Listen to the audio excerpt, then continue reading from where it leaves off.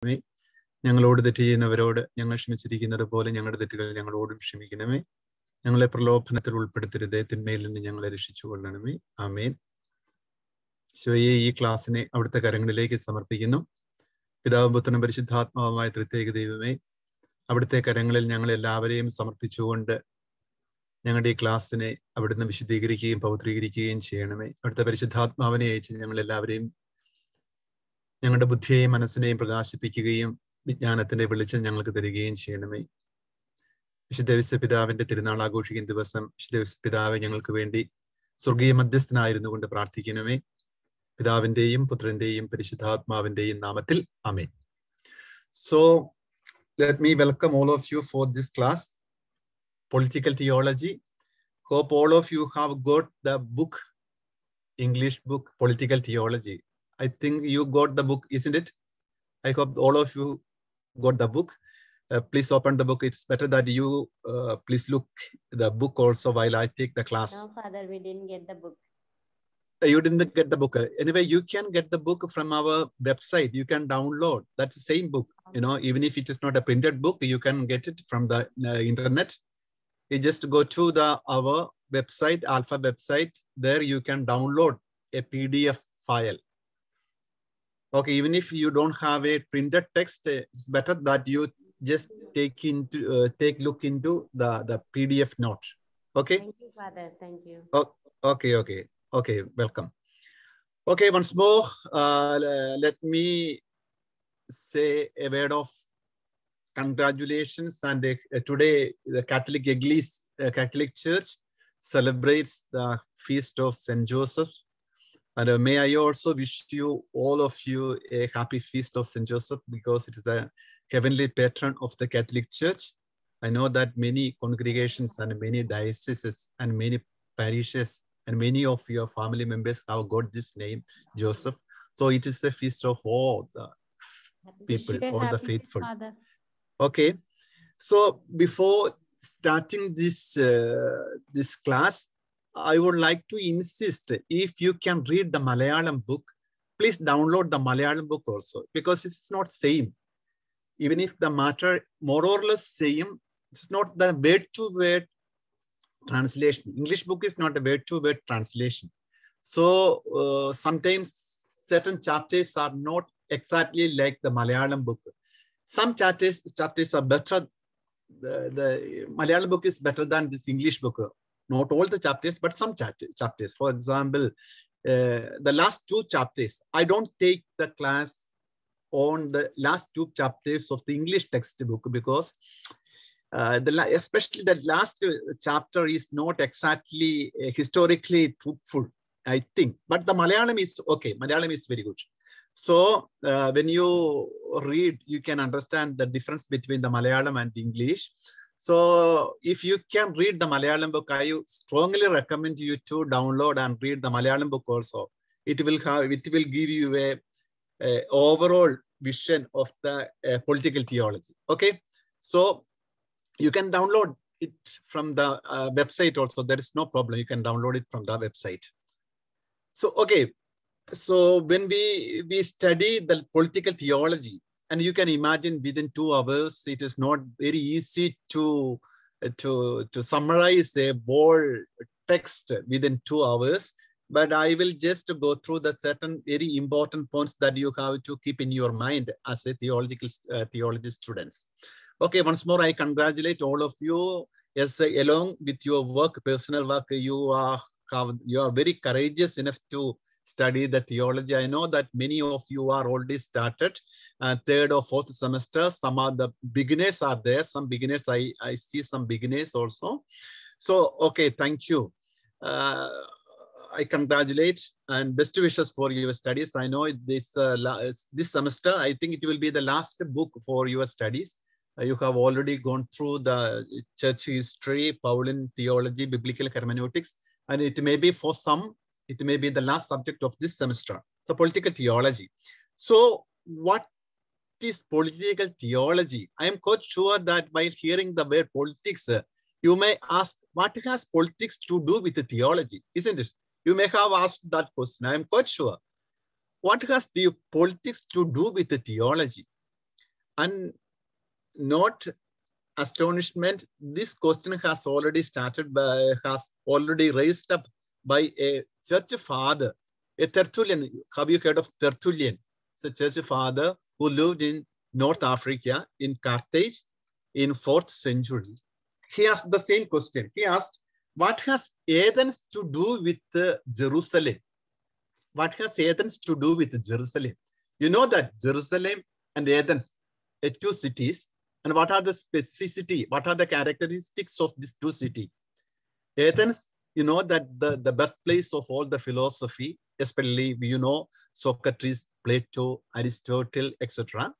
So we can conclude that Aristotle or the Greeks or Athens as the center of all the thoughts and the philosophy. And Jerusalem, it is our land of faith, Jerusalem, where Jesus has died and resurrected. So it is a land of our faith. So what has Athens to do with uh, Jerusalem? The Tertullian asked, the, the, the full sentence is like this. What has Athens to do with Jerusalem? The church with academy, the Christian with the heretic. After Jesus, we have no need of speculation. After gospel, no need of research. So the church father wants to make a reconciliation between these two. So what's the relation between faith and reason? That's the ultimate question that the church father wanted to ask. So we also may ask the same question, what the politics, what has the politics to do with uh, a theology? So uh, before entering deep into the, into the question or the chapters or our theme, I would like to enlighten certain points before beginning. Very often, what is politics? When we hear the politics, we usually used to say politics is very nasty, dirty politics, because we know that we always think the politics with a political parties, isn't it? Very often. Very often we, we used to hear that the politics is not good for the uh, uh, good people. It is always for the nasty or bad people because we see all kinds of exploitation, bribery, and all things of moral evils we see in politics. So we very often, we don't like to involve in politics because the word politics itself has a bad connotations in our mind, isn't it? That's true because very often in our uh, conversations, very often we say it's a dirty politics, isn't it? So politics is the word itself is uh, has a connotation with the uh, bad meaning. So actually, what is politics? Politics, in a very broader sense, in one one sentence, we can say politics is an art or science of governing. It's a governing of what? We know that uh, we very often we give a definition of human beings. Human being is a social being, isn't it? Man is defined as a social being. That means Samuki Jivi, social being. At the same time, we can also say that man is a political being. Why man is a political being? Politics is an art or science of governing. Governing what? It is a politics is a set of activities that are associated with making decisions in group. That means there is a small group, even if, if we divide the community, the society into small groups, that is a village, small, the basis of every community is family. A family is attached to a place. That means there is a small village, a group of people who reside in the same place. Then there may be a taluk or panchayat. There may be a district the, in a federal system, there is a state, then there is a nation. So in every state, in every district, in every village, there is a there is a way of governing that small community. That means there are laws. In every community, in every group, there are laws. Without law, there is no community. So what is law exactly? We know that law is for the well functioning of a small group or a community. So the law can be divided in, into many. That means the law, the, the definition of law or the law can be divided into many categories that you may study, learn from your uh, canon law classes or moral theology classes. The first of all, the first division or first category of laws are known as natural law. So what is natural law?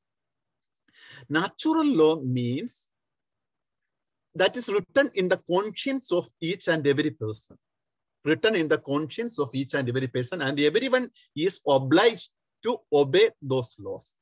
മനുഷ്യന്റെ ഹൃദയത്തിൽ എഴുതപ്പെട്ടിരിക്കുന്നു that's written in the conscience and he is oblige to obey those law those loss that means it is given by God it is written it is inscribed in the heart in the conscience of every human being for example don't lie don't kill those are the natural even though they are divine laws they are natural laws too so there can be divine law natural law and there may be state law then the main law another category of laws are known as the positive law so what's a positive law positive law is the laws or decisions made by the competent authority to rule over a group of the people so in Malayalam, we say the positive law means uh, എന്താണ് uh, അനുലോമ നിയമങ്ങൾ. for example, if the government makes some decisions in order to promulgate, to rule over a group of people, those laws are known as positive laws. So there are natural laws, there are divine or eternal laws, there are positive laws. So without law, a community cannot go on. For example, just imagine if there is no law, that community or that group of people, that village or that state will be in chaos. Because if there is no law, if there are no laws, a life cannot go on. That state is known as anarchism. A state where there is no law is not an anarchic state. So always in order to well functioning of a state or group of people, we should we should have some laws. So there's the who passes the law or who makes the decisions or who makes the law. A elected government or the competent authority in our state or, or the national uh, national uh, perspective, the people who choose the government, the government makes the laws for the people. For example, if I don't law, uh, obey the law, you will be punished. I have to drive in the left. That's the law of the state. If it is in the right, I have to drive in the left. I, if I would say I don't like to drive in the left side, that means there will be accident. So the laws are for the common good of the people. So laws are obligatory, necessary, and we are obliged to obey those laws for the common good of the people. I think perhaps you may have heard of a small book called uh, written by an English author, a British author, novelist, and his novel's name is A Lord of Flies. The author's name is William Golding. Have you heard of that book that has got a Nobel Prize? William Golding's The Lord of Flies, Ichagaluda Tamburan, The Lord of Flies. So that's a small a story, a novel. Uh, in that novel, the, the author, the novelist depicts the life of a group of young people. A young group of people were traveling in an aeroplane. There's a crash of the plane and they were in a small island, a deserted island. There were no one only these young people, that means below 15, a group of young people below 15 years old. So they have to survive there. There was there are uh, no other system or structure to survive. So they make a law for themselves. They uh, they will choose a leader, and they will choose. They will entrust some people to guard in the night if some uh, wild animals will attack. So they have to, uh, there, there should have some guardians and there should be some people to, to cook the food and everything should be organized. Otherwise that community cannot go on. So the, the, the children came together, they chose a leader and they entrusted a group of the people to, to be guardians and others to the protectors of the law and they, there should have someone to see whether these children or the, the guardians should do their duties, their obligations uh, uh, sincerely. So, in order to, uh, in, to some uh, to resume, a small group of people should have a small in order to be a community. There should have some leader.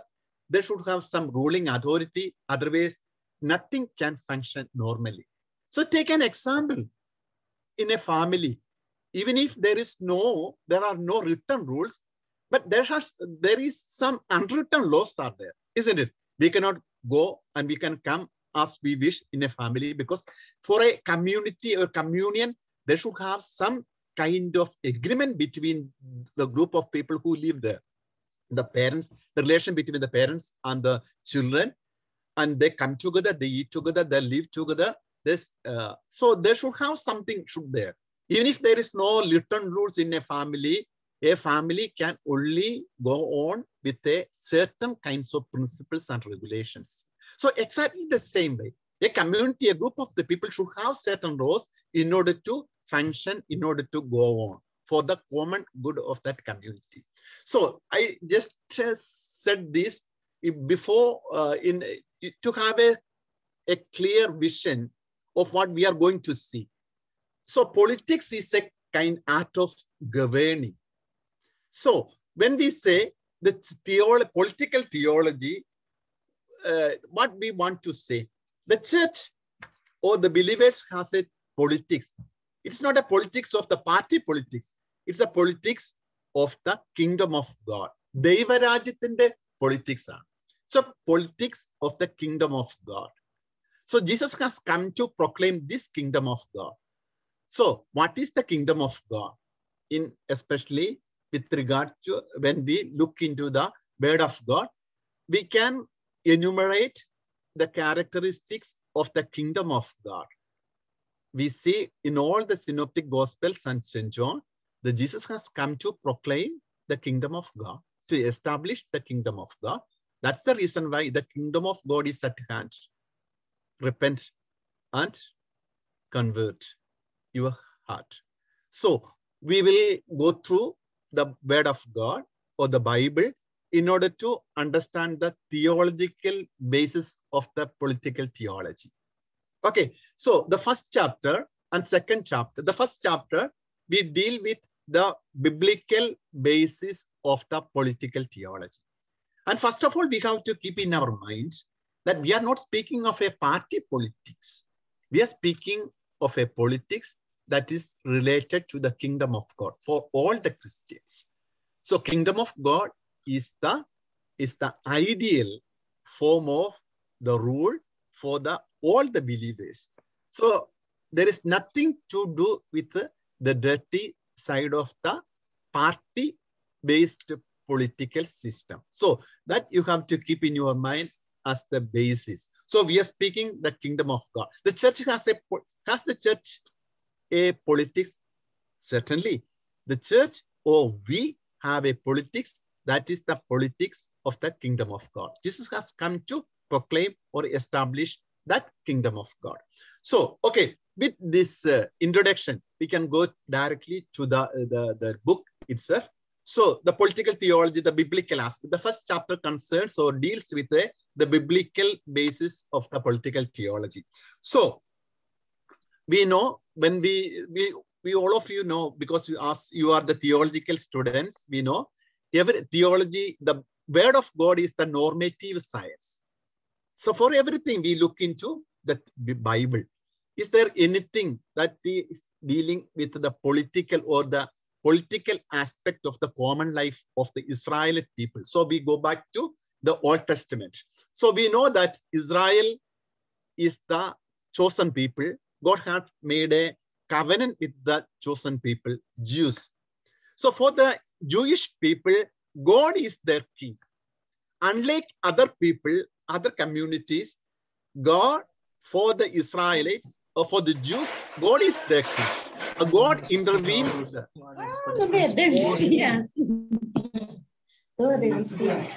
If anyone is not, please mute there. Okay. Because I am hearing your voice. Please mute your microphone, please. Okay, thank you. So God is the king for the Israelites. For other people means Canaanites, other Gentile people around Israel, they have their own kingdom, their own king, etc. So Israel is a theocratic kingdom. God intervenes for them. God guides them in the course of history. So the dominion of Yahweh is accepted as the as the ruler, as the as the way of life for the Israel people. So it is God who intervenes for them always. But the people always wanted to have a king like other kingdom, other people. So they approached the Samuel, the last judge, and asks for a king.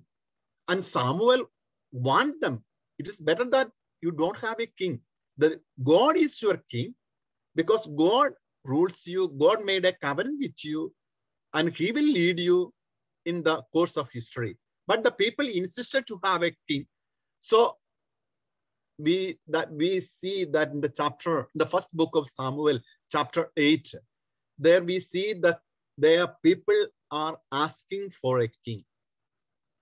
So the Samuel says the disadvantages of a, having a king. Because he says that if the king is there, he will take your young people as fighters and they will fight and they will die in the battlefield. They will take your ladies or your daughters into the palace. But the people insisted and the, at last the God gave them the king. We know the first king of Israel, that is Saul. The second king is David, David, David, and the last king is Solomon. We know the history of Old Testament kingship. So what is the rule, duty of a king? The duty of a king is partaking the divine mission because the king is always anointed or consecrated. So he is partaking the divine authority. The what is the duty of a king that we see in the book of uh, Samuel? We see the first duty is the defender of the weak and guarantee, guarantor of justice, and one who seeks the always justice and do the rightful to the needy, and who should take care of the widow and orphan, poor, and he should do the justice to the poor. So that means he is always taking part the divine authority because he is anointed, he is consecrated, he is consecrated in the name of the Lord. Always we see in the Old Testament, the prophet anoints or consecrate the, the, the, the kings. So his primary duty is to is a defender of the justice and he should take care of the orphans and the widow, do the rightful to the needy and eradicate all kinds of poverty, slavery. But we know, while we go through the Old Testament history, we know the all the kings failed in their divine mission. Idolatry came into the, the, uh, the, the promised land.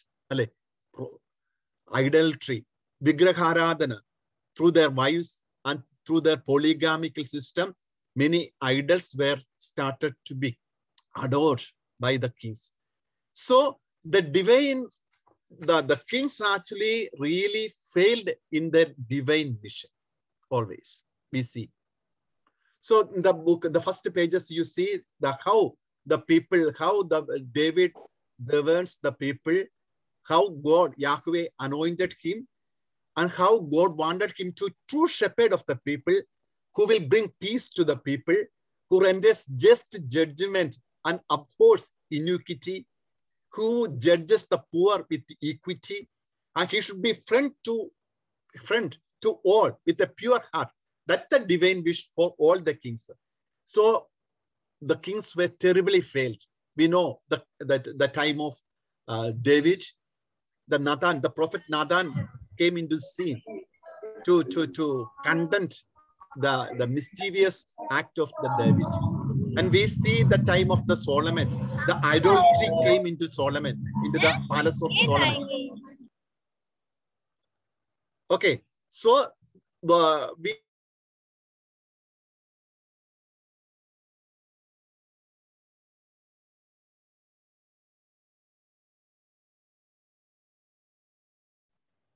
Okay, the, after Solomon, the kingdom was divided into two. We know the time of Rehoboam and Jeroboam, northern kingdom and southern kingdom.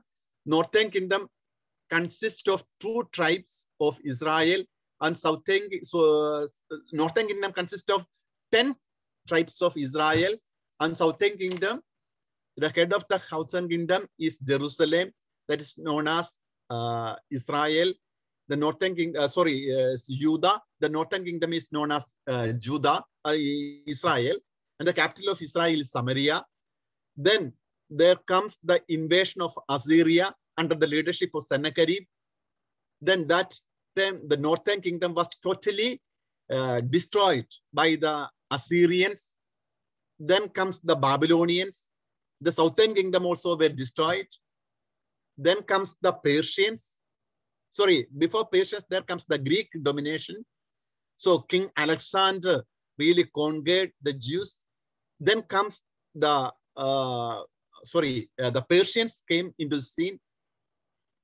Persians, Greek, then Hasidian kingdom. At last, during the birth of Jesus, during the time of Jesus, that's the Roman invasion or the Roman dominion. So the Old Testament people has gone through all this domination of the Assyrians, Babylonians, Greek, Persian, Greek, and Roman dominion, uh, dominance. So what actually has happened for the Old Testament people after having come this king, king, especially Saul, David, and Solomon, the kingdom was fragmented, destroyed, and they were taken to deport. They were deported to exile. Babylon exile is very known in the in the uh, in the, the Old Testament. So all the prophetic interventions comes come during the time of king kings.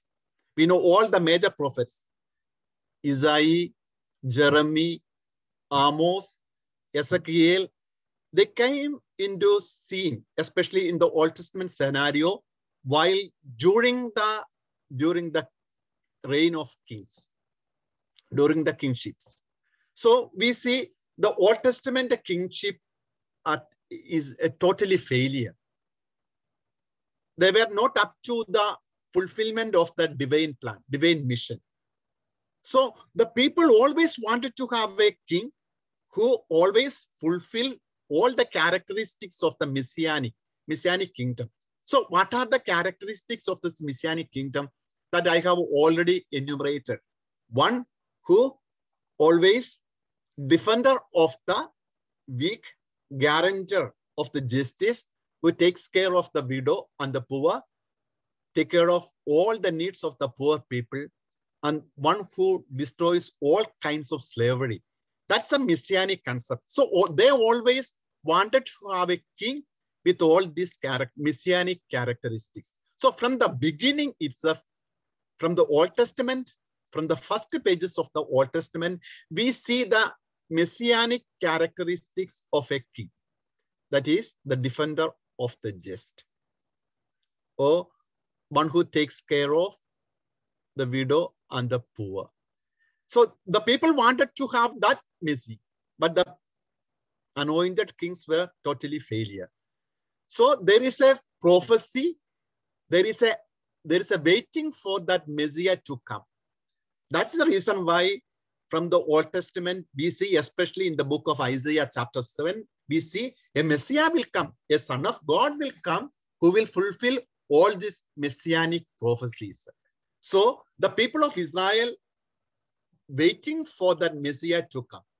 While Jesus comes, the incarnation or during the birth of Jesus, all the messianic prophecies has been, have been fulfilled.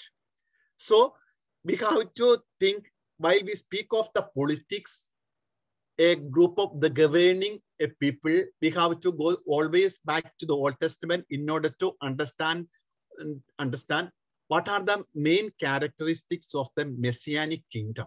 So messianic kingdom, it is a kingdom of justice and peace. And it is like a shepherd who feeds his sheep. So that all character, those all characteristics were fulfilled, accomplished in the life of Jesus. While Jesus is born, these characteristics has come to a accomplishment. Okay, that's the reason why in the chapter in the Gospel of St. Luke, chapter 4, there is a manifesto of Jesus. He came to synagogue on the Sabbath, day of Sabbath. He took the book of prophet and he read it. That's the manifesto of Jesus. So that are the those are the characteristics of a messianic kingdom. So the kingdom of God is not something conceptual. It is really, uh, really materialistic. That means really earthly, where the people are liberated from all kinds of slavery. So the when we speak of the kingdom of God, very often we have a thought in our mind that the kingdom of God is something conceptual.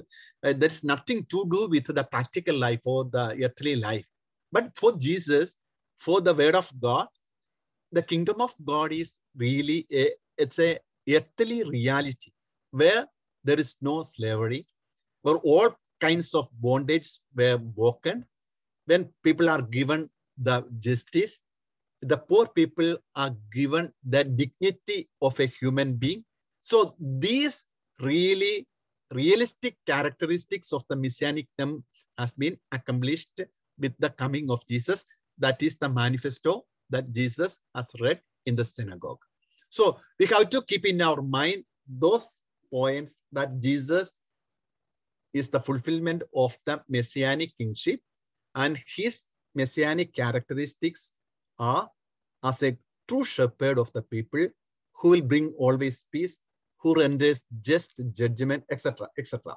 So what is the attitude of Jesus towards the political authority? So till now, what I wanted to explain is in the Old Testament, the people always wanted to have kings. God gave them the kings, but the kings were anointed, but they were totally failed in their divine mission. So there were prophecies regarding a Messiah, a king to come. And with the coming of Jesus, all the messianic prophecies were fulfilled. Okay, that's very clear. There is no doubt, there is no ambiguity with regard to those messianic prophecies. So we know very well why we go through the uh, why we go through the uh, Old Testament, especially at the time of the Jesus birth. We know we know that the BC first the Herod has died BC first century. So he has divided his kingdom into four children. Who are the four children? Archelaus, Philip, Herod. And while Jesus, during the Jesus birth, there is no kingdom at all. There is tetrarch. That means there are certain uh, tetrarch. We see that in the Gospel of St. Luke, that during the birth of Jesus, the kingdom was divided into many small kingdoms. It is not a nation. There's no king at all. There is only tetrarch, etc., etc. So with the coming of Jesus that we see in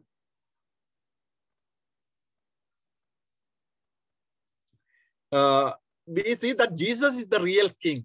The even Pilate, Pilate, uh, asks him during the trial, "Are you a king?" Jesus says, "I am the king. I am the king." That the, all the kingship has been has fulfilled in the, the, the life of Jesus. Okay, so uh, you take, please take the page number six of our book, Jesus and the political authority. What is the attitude of Jesus towards the political authority? So we know that we always used to say, what is due to God, give to God, or what is due to Caesar, Caesar, due to Caesar, isn't it? So temporal power has its right due. So Jesus always respects the temporal power.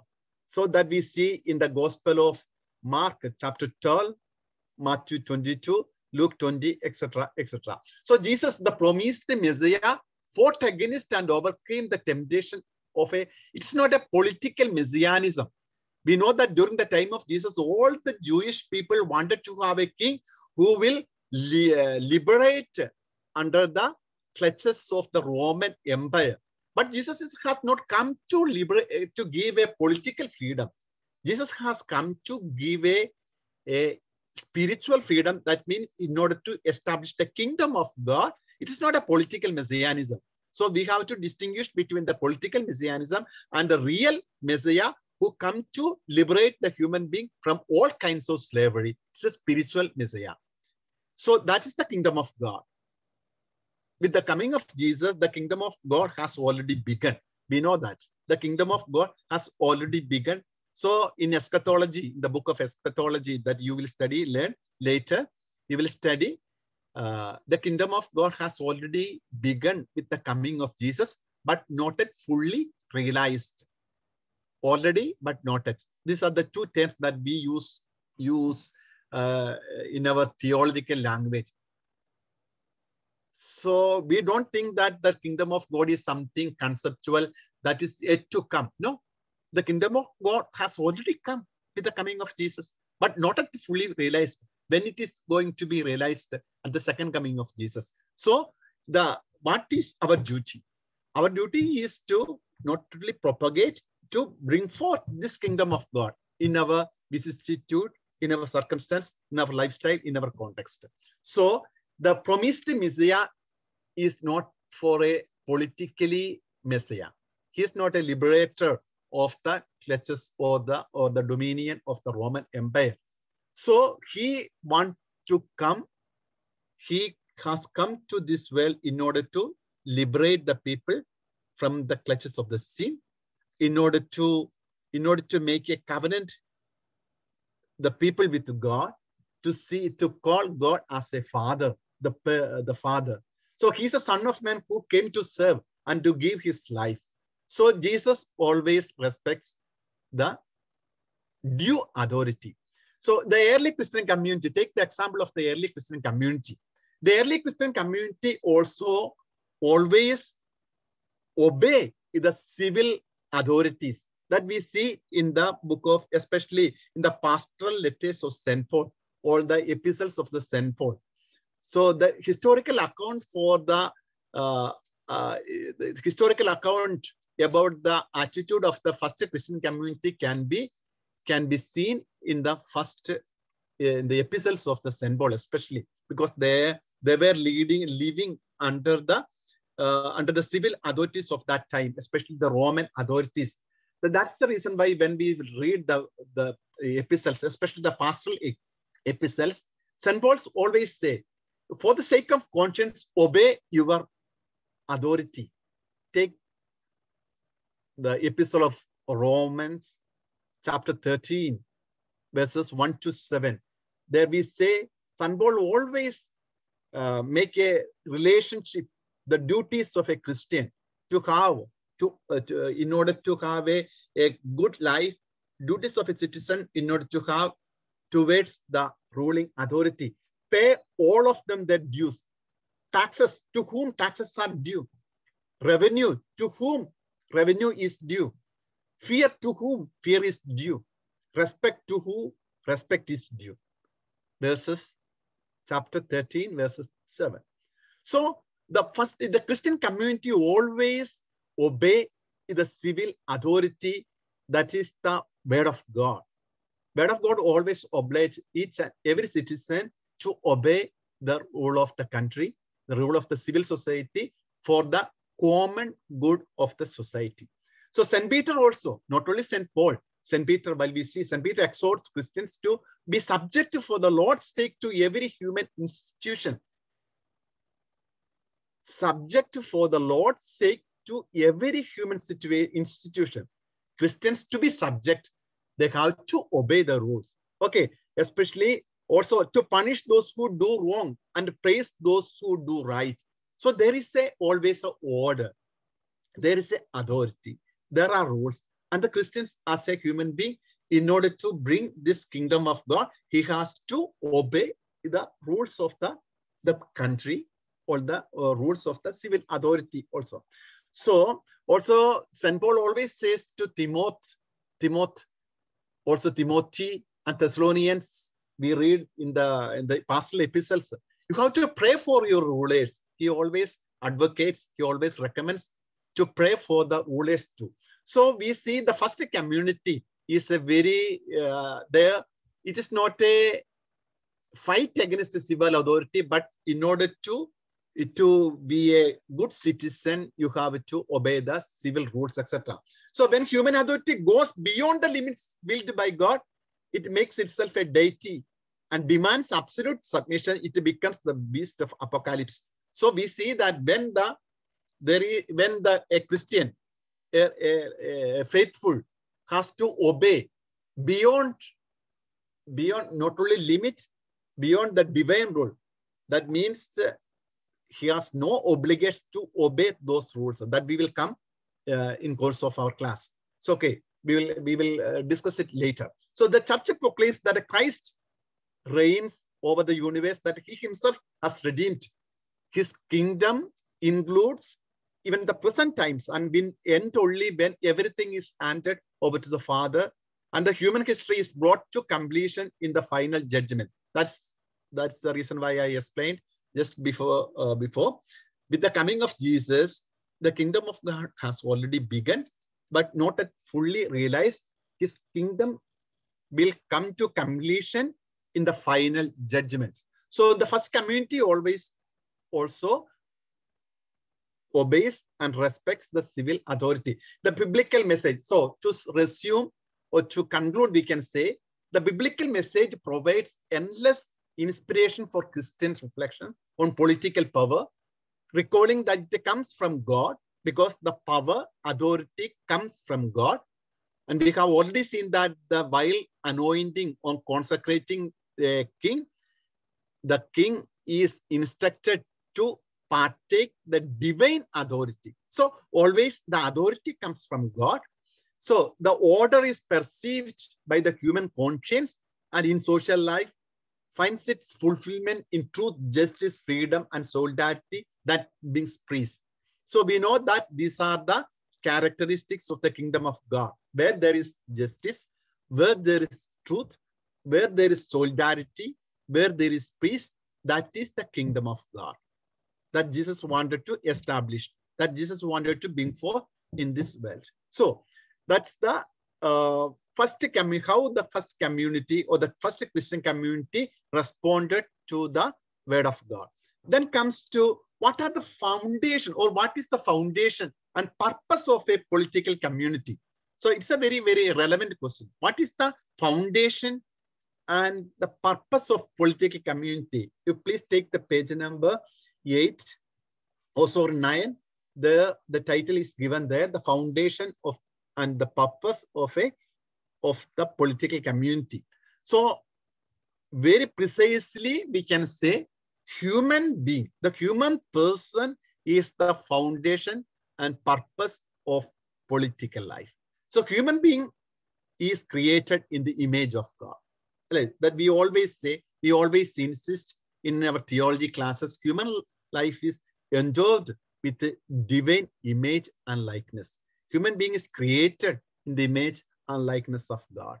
So the purpose and foundation of all political life should revolve or evolve around the human person because he is the image and likeness of God.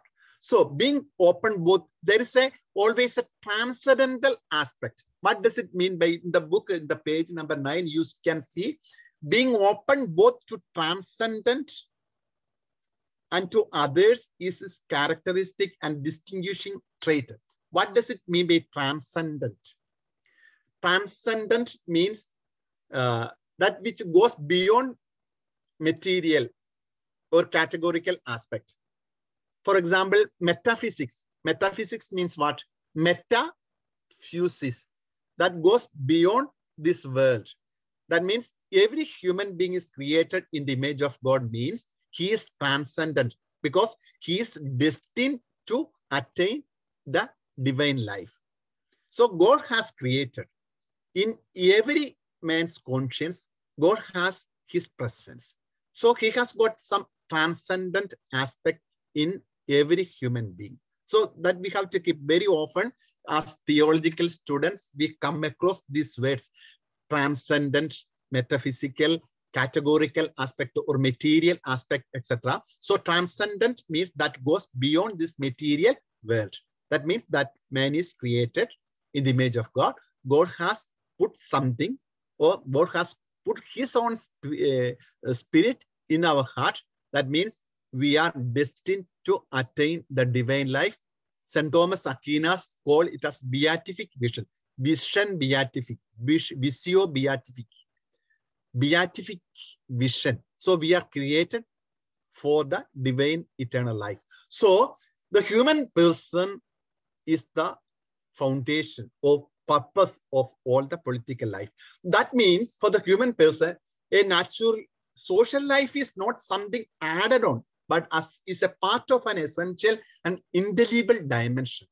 So social and political life is something part of his life. It is not something added from external or from outside. Because as a human being, we are born and brought up in a small community, isn't it? In a small group, a small social life. Without a social, without a, a community, without a family communion, no human being can be born.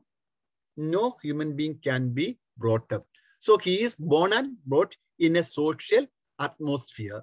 So his character is formed with the social atmosphere or with the, uh, the a communion, a, a communion. So everything that is related to human being is social also. So it is not something that is added from outside. It is a part and parcel of his human being, his social character, and as man as a social being and a politic being is a his. It's the essential uh, dimension of human being. So the political community originates in the nature of person whose conscience reveals to them and enjoins them to obey the order which God has imprinted in all his creatures. That means that I have explained just now, the order which God has imprinted in all his creatures. That means in our conscience, there is a natural law to obey. There is a natural law in order, there is a, in order to attain this uh, divine life. So there is a natural law that God has imprinted in all his creatures a moral and religious order.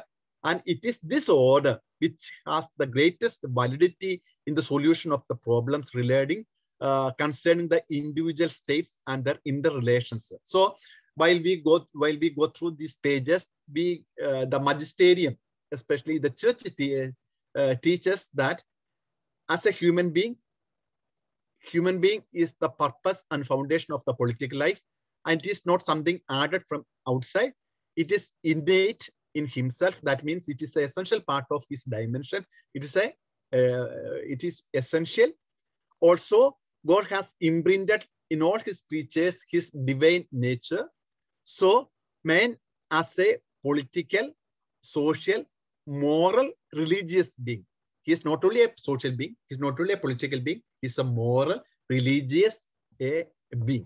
Man is always. So uh, the full growth of each of its members called to cooperate steadfastly for the attainment of the common good under the impulse of the nature inclinations towards what is true and good. So the political community, the ultimate goal of the political community is the common good. So at least you have to keep in your mind a certain certain phrases because it is, there is no need to by heart all these things. But the man is the purpose of the political community. The God has he is a, a, a God has created in His image. God he is a transcendent being, and also we have to keep in our mind the political community. That means the ultimate goal of the political community is the common good of the society.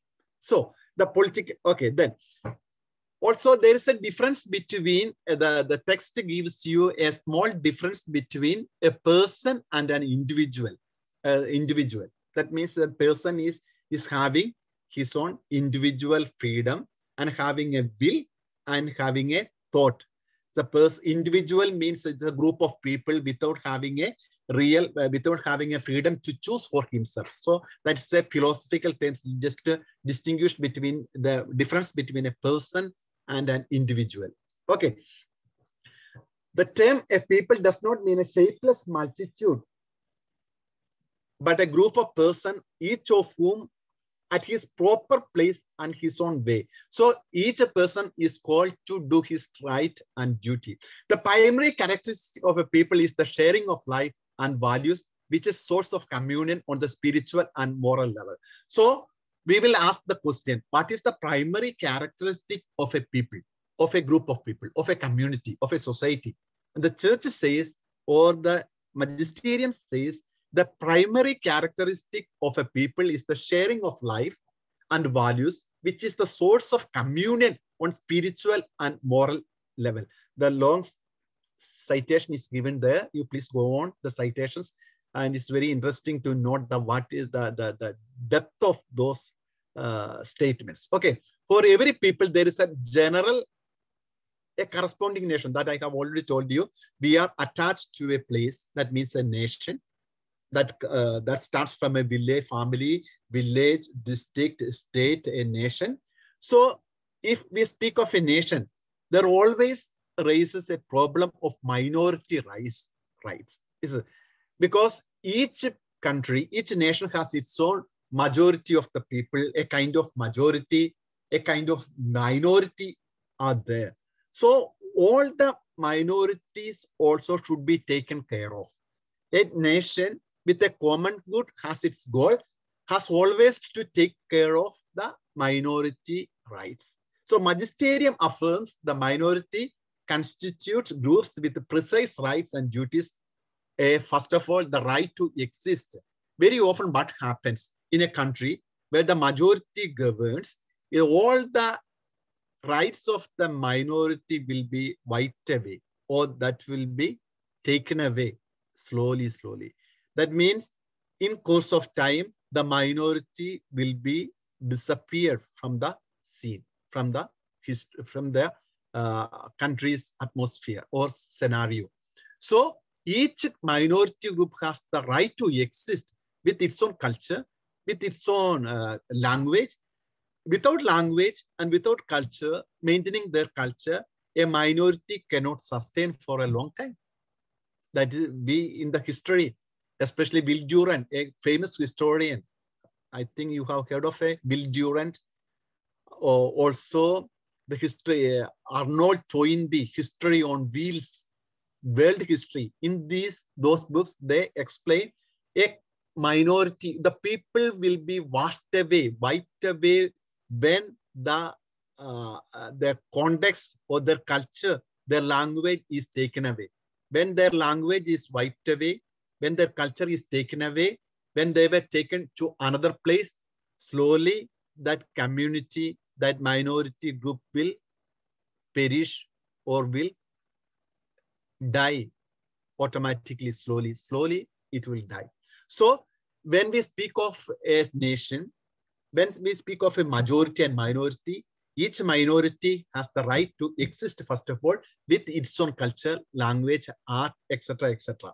So the, the ultimate goal of a political community is the common good of each and every individual. So it is apart from the kingdom of God perspective, while we speak of a, a really political society, the common good is the purpose and goal of a political community. So in that case, the minority also should be taken care of. Okay. Then what are the, the promoting, the, the duty of a political state or political authority or political community is first of all to defend and promote human rights.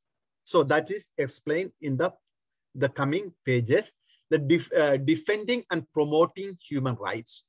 Page number, please take page number 11. There we see uh, working to recognize and respect human dignity through defending our promoting fundamental and inalienable human rights. I don't read all those uh, uh, citations. In our time, the common good is chiefly guaranteed when personal rights and duties are maintained. So it is very, very, very, very interesting to read that sentence again. In our time, the common good is chiefly guaranteed when personal right and duties are maintained. So uh, we will study later. We will explain that sentence later. Okay.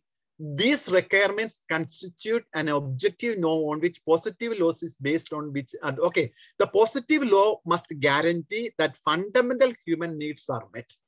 So now you can, uh, should not have any confusion. What is positive law? I have already, at the beginning, I have explained to you, positive law are enacted or made or decisions made by the competent authority to rule over the over a people for the common good of the community. Okay, but those laws are known the positive law. The positive law must guarantee the fundamental human needs or fundamental human rights. The political community pursues the common good. Okay, that is the explanation of the that that uh, pilot phrase. Political community is meant for the common good of the people. Okay, the social life based on the civil friendship. So in a community, in a political society, always the common good is attained by a civil friendship. Without a harmonious coexistence, no common good is achieved. So there should have a people or community with a real motive of charity should help each other in order to attain the common good of the people. In a community, there will be always poor people. In a community, there will be always downtrodden people. There is will be always the people who are gone away from the mainstream of the life. So it's a it's a duty of that political community to come closer or take closer those people who are chased away from the mainstream of the society. So there should have a civil friendship. Without this communion, without this charity, without this civil friendship, no life is possible in a, in a political scenario. So life in a society takes on its significance when it is based on civil friendship and on fraternity. So there is always should have a fraternity and a civil friendship. And there are people who sacrifice their life for others, for the common good of the people. So that is selflessness, detachment from the material goods, etc. So civil friendship is very, very important in a political community. So uh, justice requires that everyone should be able to enjoy their own goods and rights. So that's a civilization of the love that always the Christians always wanted to tell from the beginning that the, the, the, the kingdom of God, that's the love, that is truth, that is peace, that Jesus came to establish that kingdom of God. So the human being is a person, not just an individual. So just go through the difference between a person and an individual. The gospel perspective of charity enlightens Christians as to the deepest meaning of the political life. So we have already told that a civil friendship is necessary for a common good of the community. Okay, the Christian vision of political society places paramount importance on the value of community. That means a value of love, sacrifice, selflessness, etc. So foundation, what is the foundation of the political authority? So here we should, as a believer, as faithful, as Christians, we should have a clear, clear notion about the foundation of political authority. What is the foundation of the authority? So we wanted to tell, since God made man, since God is the creator, since no society can hold together unless someone be overall directing all to strive earnestly for the common good, every civilized community must have a ruling authority. That means God is the author of all the creation. God has created everything. So the ultimate power rests upon God. So if anyone, a, any authority who denies Lord or God and who places himself in the place of God, that is unacceptable for a Christian. So in the history, just take the history, the course of the history. There are lots of lot of rulers who are atheists, uh, who are totally against the religious freedom or religious aspect of the life or spiritual aspect of life. In course of time, they themselves place in the place of God and they have committed the heinous crimes in the history of the humankind. Take a lot of example. Not long ago, take in the 20th century, in Cambodia, the Khmer Rouge, the ultimate communist party has taken the role of the God in order to bring the peace and justice to all. What happened? About 14 lakhs people were killed. Can you imagine how hear of 14 lakhs of people were killed by the communist regime in it is not a very old history. Eh? Happened in the 19th, 20th century in 1962 till 1972. Khmer Rouge. So the ultimate authority, if we are taking God away or if we chase away God from the uh, authority, a moral authority in the sphere of political life or common good of the people, there will be always in the history this catastrophe. So political authority is therefore necessary, but the political authority must be positive and irreplaceable component of the civil life. Okay, everything is okay, but it should have based its all authority on God or, or the moral, moral authority of God.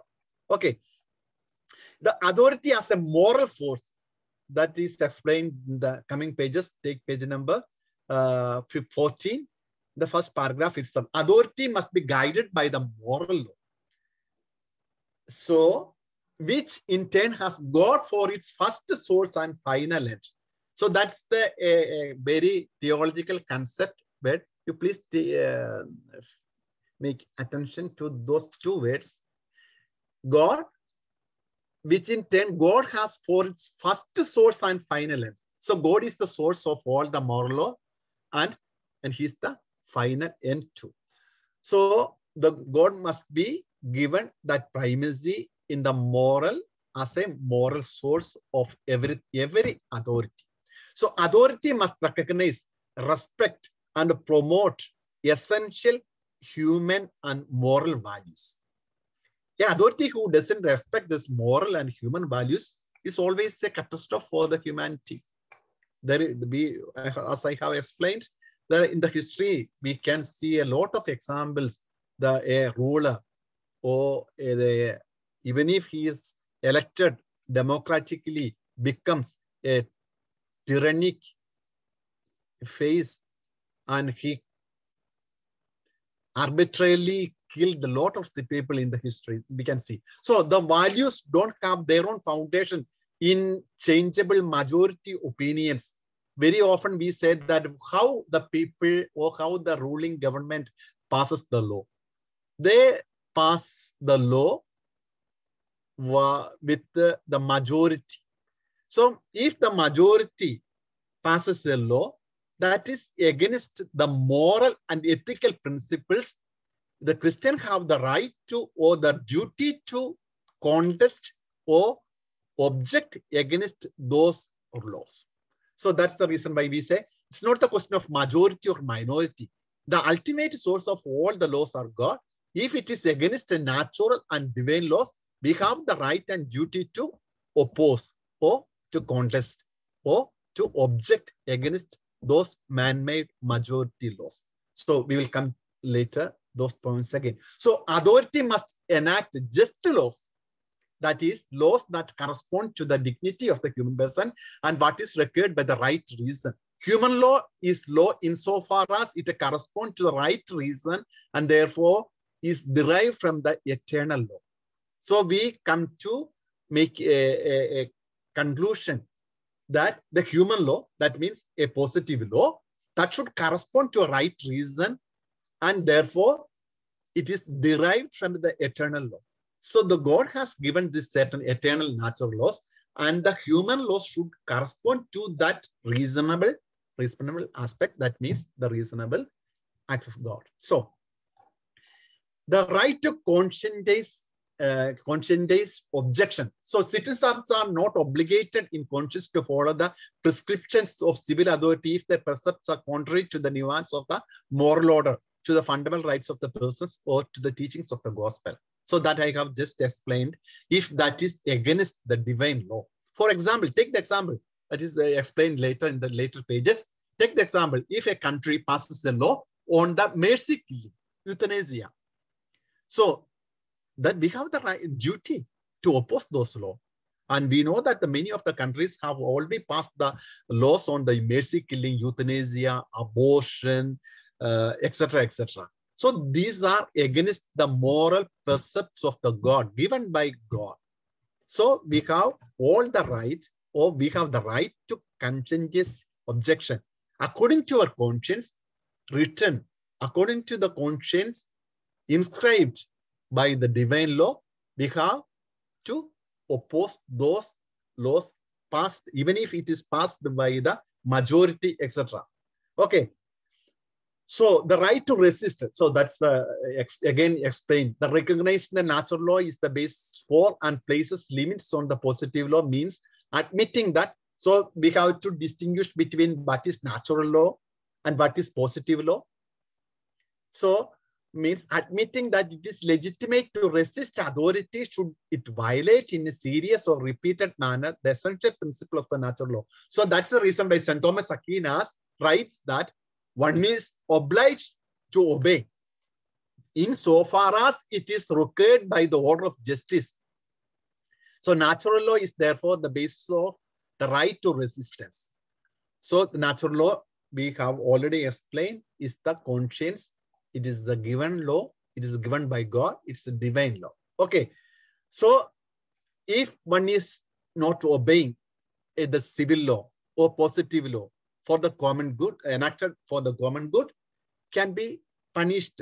That's the our constitutional. In each country has its own constitution and each uh, country has its own uh, penal system, uh, uh penal IPC. We know that for the Indians, uh, based on the constitution, we have got our own Indian penal code, etc., etc.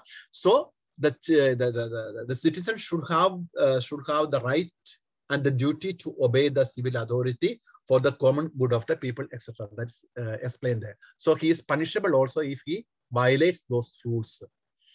That means if he violates means he is against the common good of the community. So we know that especially the democratic system, the elected democracy is the, for the church for the moment, the elected democratic system is the viable and a positive system of governing the people for the moment.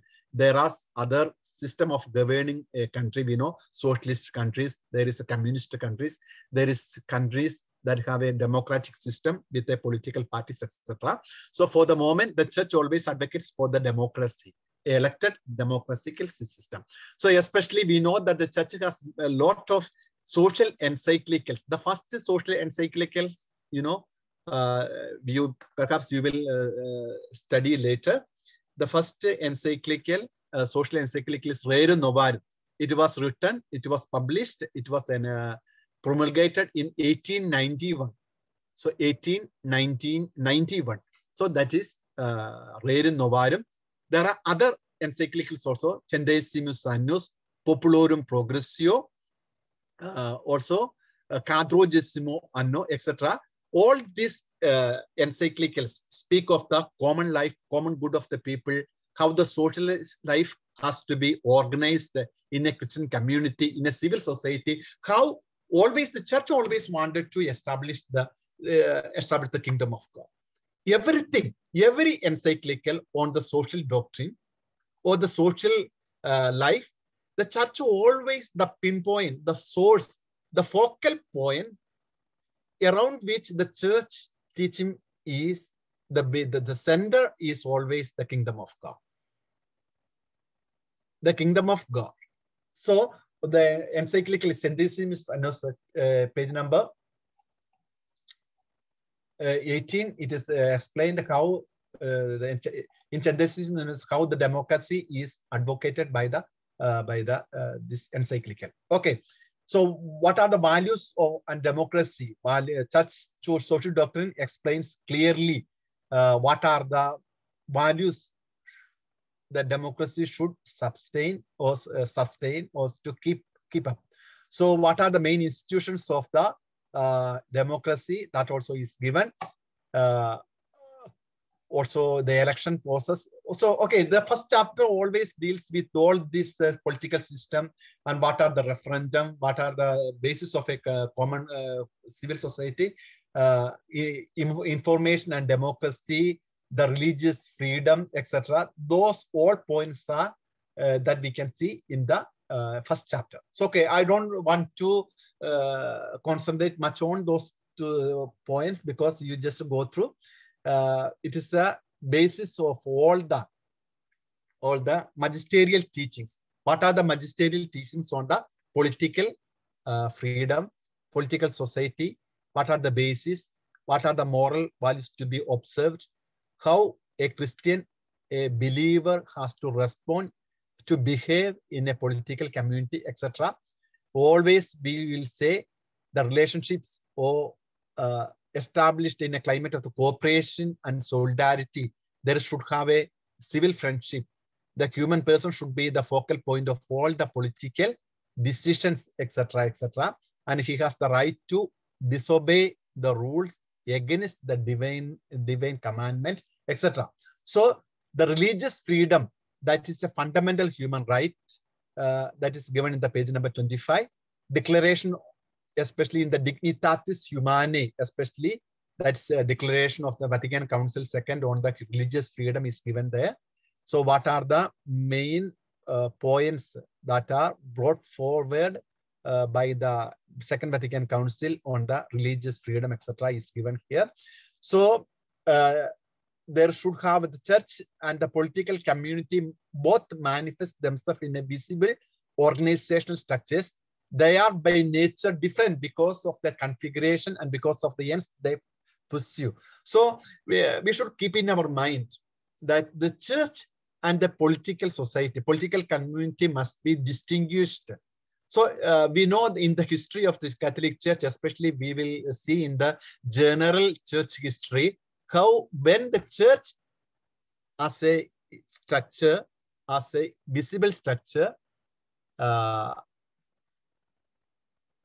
in the when they interfere in the political structure, they uh, they had a lot of that problem in the history of the church, especially in the Dark Ages, Middle Ages, in the 13th, 14th, 15th century.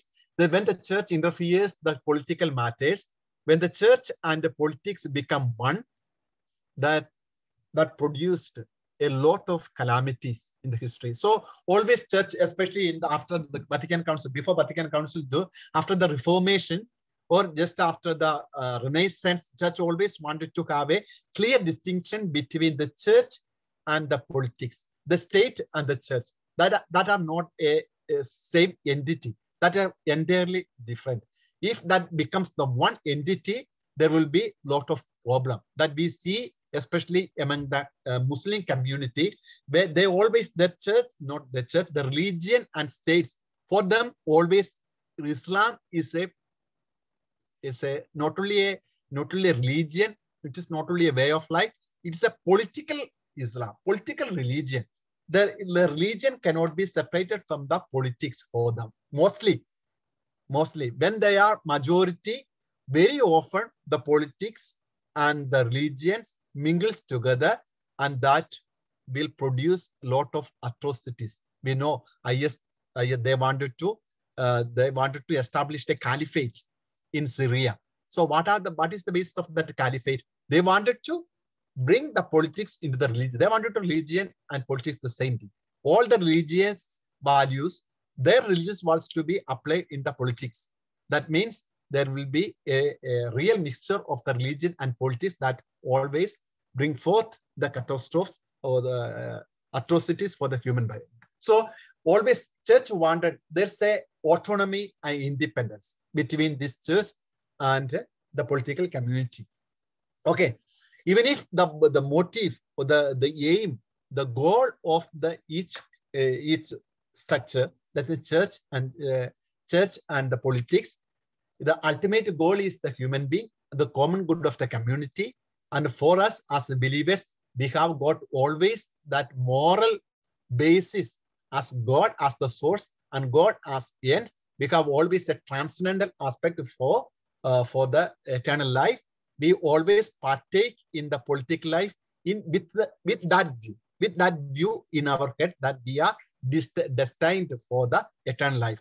We are here in order to show the kingdom of God has already begun in this earth with the coming of Jesus. So these two institutions have the uh, same common ground as a humanity, as humanity as the common ground, but with a different purpose. But the politics also has got its uh, basis on the moral moral laws.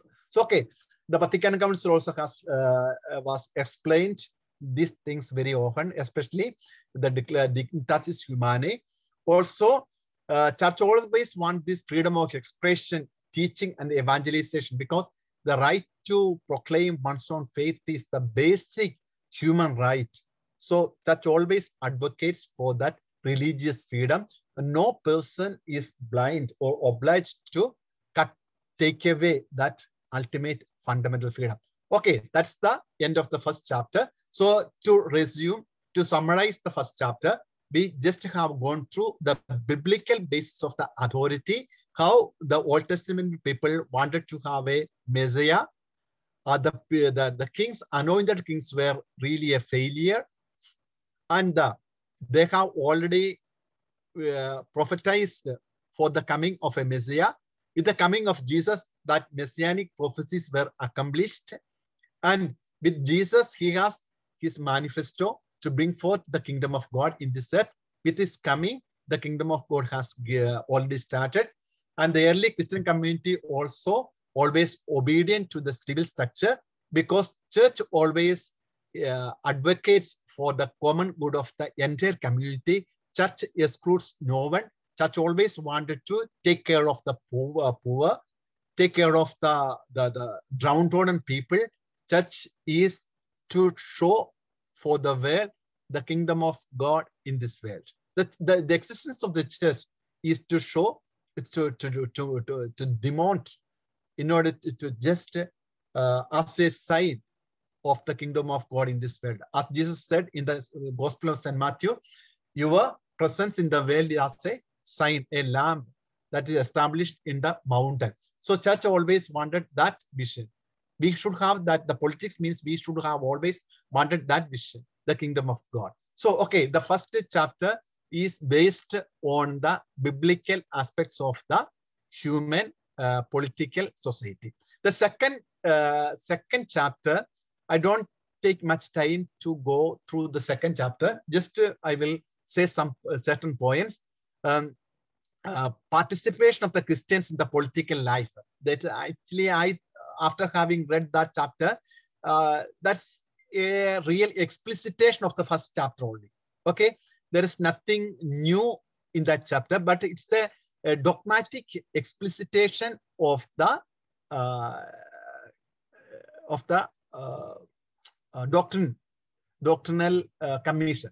The Congregation for the Doctrine of the Faith has published this document based on the biblical basis. Okay, that you can just go through the, the what is the main teaching. The Christians should always play their role as a citizen, but as a citizen of God. Okay, that's the main point. Okay, man cannot be separated from God, nor politics from morality. So always this chapter, this document also emphasized the point that man cannot be separated from God, nor politics from morality. We know that the politics without values is the greatest sin. The Gandhiji always says a politics without morality or politics without value is the greatest evil. So we always emphasize, especially the church always emphasize that the central points in the current and cultural political debate. So uh, in this document, we should take care certain elements because this document established or brought forth or uh, written by this congregation for the doctrine of the faith uh, warns us there is a danger in our present scenario. So what's the danger? That this document says there is a culture of relativism. So what is what does it mean by relativism? You please take page number 30. A kind of cultural relativism exists today. So what is relativism? Relativism means there is always, uh, there is nothing objective, morally objective. Everything is relative. For me, this is right. For you, that is right. No problem. That means there is no objectivity. Okay. So while you go, while you learn the moral theology, you will come to understand that the, the concept of relativism uh, in the, in depth. Okay. So relativism, in a word, is that everything is relative. For you, that's right. For me, it is right. There's nothing an objective criteria for the truth. That culture of relativism exists today. Also, there is a ethical pluralism. So I, have heard many Christians uh, say, so in Africa, there is they have their own culture and there are ethics. So their cultural scenario formulate their ethical principles. So we have our own culture, we have our own context. So our context and their context are entirely different. So they have their own morality, we have our own morality. That means there is a ethical pluralism. There is no uniformity in that in that argument. So we say that that's also a danger while we analysis the present culture, moral situation or political situation. So cultural relativism, there is a danger of ethical pluralism. That means uh, that is explained here very well. As a result, citizen claim complete autonomy with regard to their moral choices. That means the, since there is no objective criteria, I can decide for myself what is good for me. So it is good for me. So I choose it. So there is citizens or the people claim complete autonomy with regard to their moral choices. And lawmakers maintain that they are respecting his their freedom of choice by enacting laws which ignore the principle of natural ethics and yield to ephemeral, cultural, and moral trends as if every possible outlook on life were to equal value. So just to go through those phrases again, if it is, it's very, uh, if you understand clearly what does it mean by uh, ethical pluralism and relativism, that is easy to understand. So there is no objective uh, criteria for truth, ultimately. So it is, however, the church's right and duty to provide a moral judgment on temporal matters when this is required by faith of moral law. So it's the Christian duty. We are bound to proclaim our faith in order to bring forth the correct decision in the political arena. The church recognized that while democracy is the best expression of the direct participation of citizen political choices, it succeeds only to the extent that is based on a correct understanding of the human person. So I have already told you, so for the church, the democracy for the moment is the best expression of the participation of the citizen. Okay, but there is a there is a but. What is but the document says it succeeds only to the extent that it is based on a correct understanding of the human person.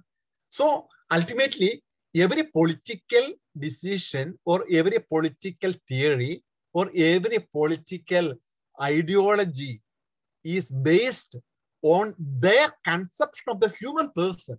So that's the reason why always the Christians, the Christianity or the, the teachings of the magisterium emphasize always on the correct understanding of the human person.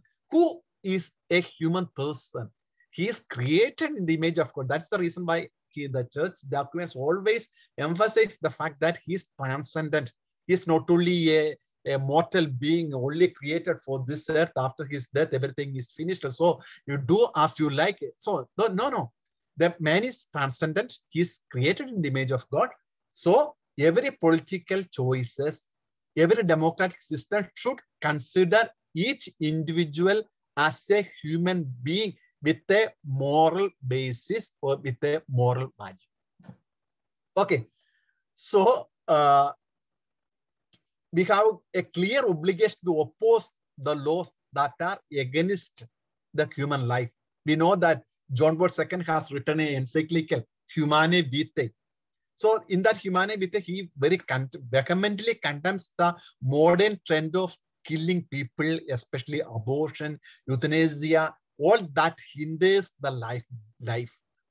So uh, we uh, that is the main focal point in this uh, in this uh, document. What are the duties of a Christian as a believer uh, in order to involve in the political life, he has the right and duties. The principle of Catholic doctrine on the autonomy of the temporal order and plural, on pluralism. So you just go through those pages. So I come to directly, I, I just skip over certain points. I come to the chapter three of church and education in Kerala. Okay, the first two, uh, two chapters, I think you understood the main focal points uh, the doc, uh, doctrinal explicitation in the second chapter, first chapter, the, uh, the, the biblical basis for the political implications or political community or political theology. Okay, the th third chapter, the coming chapters are especially, I know that many of you are not from Kerala. It is mainly based on the Kerala context. I think this book is really written uh, in the context of Kerala. So perhaps many of you may not have a uh, correct understanding because those who are from the north, they have another situation, another context. So please excuse us. Uh, it is uh, mainly for the Kerala. Uh, this book is mainly written in the context of Kerala, the Keralian context. Okay, so we know that the church in India has started with the coming of St. Thomas, isn't it? The church especially the Syrian church has started their apostolic uh, beginning from the time of the first century itself. So how, uh, before beginning this class, not class, this uh, chapter, let me, let me remind you one thing. It's, it is very important, at most important to understand what the church has done, what the church has done in the in, in the uh, in the Kerala or in India as a religious religious group. What church has done contributed for the betterment of the society. Very often, the history has really manipulated or history has really, really rejected the Christian contribution. While we go through certain uh, writings, certain historical books, we see that the real contribution of the Christian church has really ignored in those pages. Sometimes it is manipulated. So the manipulated, fabricated history is very prevalent at the moment. So it is very utmost important for a Christian or a believer to understand what the church has brought forth for the betterment of the Indian society, what church has done? What are the contribution for the education in the medical field, in the national uh, uh, thought pattern, what church has contributed. So uh, once again, I ask excuse for the non-Keralites uh, because this uh, this only there are other books, eh, but uh, this part will uh, deal with only the Kerala context. Okay, so education, we know that the Catholic Church always has always has promoted the education of the people. We know that the, the education we takes away the, the darkness from the mind and from the society. And the church has done a, a wonderful work, especially according to Amartya Sen. We know that the Nobel Prize uh, winner Amartya Sen speaks of the Kerala model. Even he has in his uh, article, he has written about the Kerala uh, model of the society, etc. So in Kerala, what the church has done? So very often, what I, I have already told you, uh, the church, this uh, chapter is not a, a ex exhaustive study of the uh, contribution of the church. If you can read the Malayalam chapter on this topic, would be better. Those who don't read the Malayalam, please go through. But in a as an overall understanding, this is only a very a small glance on the contribution of the Catholic Church. So this, uh, this article uh, speaks of the kalari. We know that the kalari means the, the, for the children at the beginning of the 18th or 19th century, there are kalaris, especially the Christians who called the kalaris, also the Nair, not only uh, Christians, but also Hindu.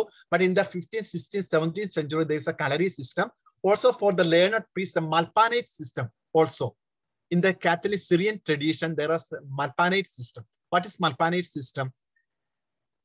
in all the times there is no seminary system like today. So what, how the seminarians are formed? They will live with a malpan, a erudite priest who knows very well the Bible and the liturgy. And with that priest, he has a gurukulam. That means with the he lives with the guru, gurukulam system that existed, prevailed in the in our earlier traditions. So most acknowledged contribution of the churches to Kerala society uh, is the promotion of the modern education. Not only the Kerala society, when we take the India as general, we know that the, the British Empire, especially the missionaries, in Kerala, it is the London Missionary Society, Basel Mission Society, also Lutherans, especially in the 16th, or sorry, uh, at the end of the 17th century or the 18th century, they have brought forth the English education and they have started the schools for the, especially the London Missionary Society. They have started in Tirunelveli, Kanyakumari. They have started the schools for the girls, etc. And uh, the way of life, how they have brought forth the education for the, all the people, despite of the culture, caste, creed, sex, etc. And they have really widened the, the, the education for all the people. Okay. Uh, then the present, uh, I don't want to read those points because this article deals with the present problem, especially in the, in the Kerala context. Uh, there are certain problems that we can see in Kerala today, especially the education has become really a business. Many, no, it is not the purpose of this article, but uh, certain points are given here commercialization of the education that's a problem the education the in the early times at the beginning education is for the the education is considered as a mission of the church. Now the even church has for the church the mission education has become a business. It is a commercialized aspect of the uh, uh, today's educational policies etc then forceful capitation and social cost. We know the capitation fees the problem of the capitation fees because while writing this article, the uh, really a real burning issue is the capitation fees in Kerala. I think that's the reason why they have ordered that uh, that this this article in this uh, book also. So also uh, the eroding standards in education, the, the quality also is eroding. The deprivation of the academic freedom because mostly the political uh, political powers intervene in the uh, curriculum of the universities. There is a academic freedom is lost. Many academic uh, established uh, establishments are really uh, deprived of the freedom, academic freedom. Then uh, there is a common um, a cultural distinction between the rich and poor. Only the rich people can have a better education, etc. So there is a these are the certain black holes or black marks in the current situation of the education. So how to come out those uh, those aspects? So there are certain points are given there: alternative educational financing, justice and equity, uh, vocationalism of education, geography priority, etc. So okay. So the next point after the in the page number uh, 43 is given contribution of the Christian community in the field of education in India. So in that part, certain points are given, especially with the coming of the Francis Xavier in 14, 1542, the lot of missionary activities had taken place. One of the main reasons that why very often we ask ourselves why the Christianity is not spread very, very, very widely in India. We know that the Christianity came to with the arrival of St. Thomas, but why it is not spread out all over India? One of the reasons given in this text is that one of the main reasons is that there were no kings or emperors in this country to sponsor these missionaries, whereas Islam spread in the whole of India because there were emperors and kings to patronize and propagate this religion. We know that Mughalite, Mughal, Mughal kings and emperors. So for the Christian, there is no kingdom. There is no king. There is no emperors to patronize, to spread this uh, our, our, our message. So the, the, the missionary activity is not spread as, as like Islam or Buddhism. Also Buddhism, we know that it emperors like Ashoka and he sent the missionaries to Sikkim, Bhutan, Nepal, Mongolia. Even if uh, India is not uh, not much a Buddhist country, because Buddhism is a part of the Hinduism also. So the Buddhism has not so much enracined in the Indian context, but the, the embrace like Asoka really spread out that religion. So, uh, but with the coming of the missionaries, especially from the 16th century onwards, with the coming of the of the missionaries, really the Christian missionaries wanted to, to establish, to wanted to propagate the real wisdom, the real education. The education is always a way of life, way of life. So in order to have a way of life, they should be enlightened.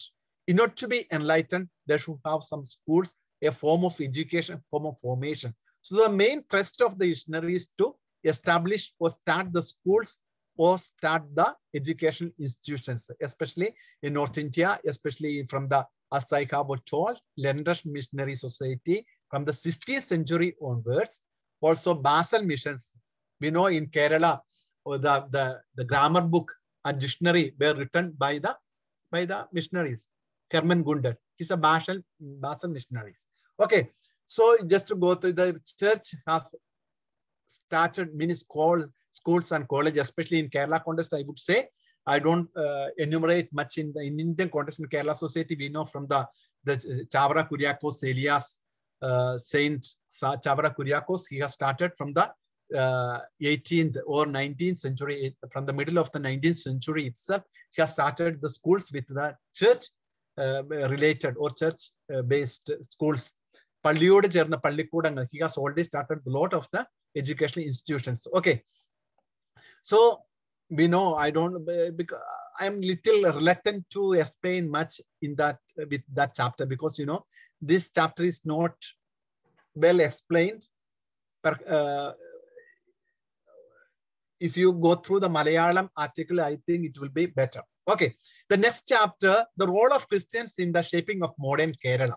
So, excuse me, I'm going again for the non-Keralites, the role of Christians in the shaping of the modern Kerala. So, this is an article written by written by a, a historian, Pius Malekandathil. He is a historian, uh, uh, dean of the chair of the hist uh, history in uh, in Delhi, and he uh, he brings forth the three areas how the St. Thomas Christians shaped the modern Kerala.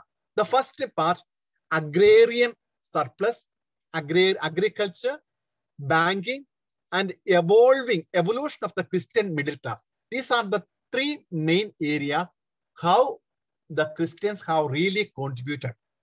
And I don't go very deep into the each point. You just go through really with the migration of the government, migration policies of the government in 18th century or 1850 to 90,000, the beginning of the 20th century, the St. Thomas Christians were migrated to the to all the parts of the Kerala, especially high range or the Malabar or the uh, uh, central part of the Kerala, where they have really contributed the village harvesting system, that means village agrarian system, agrarian system.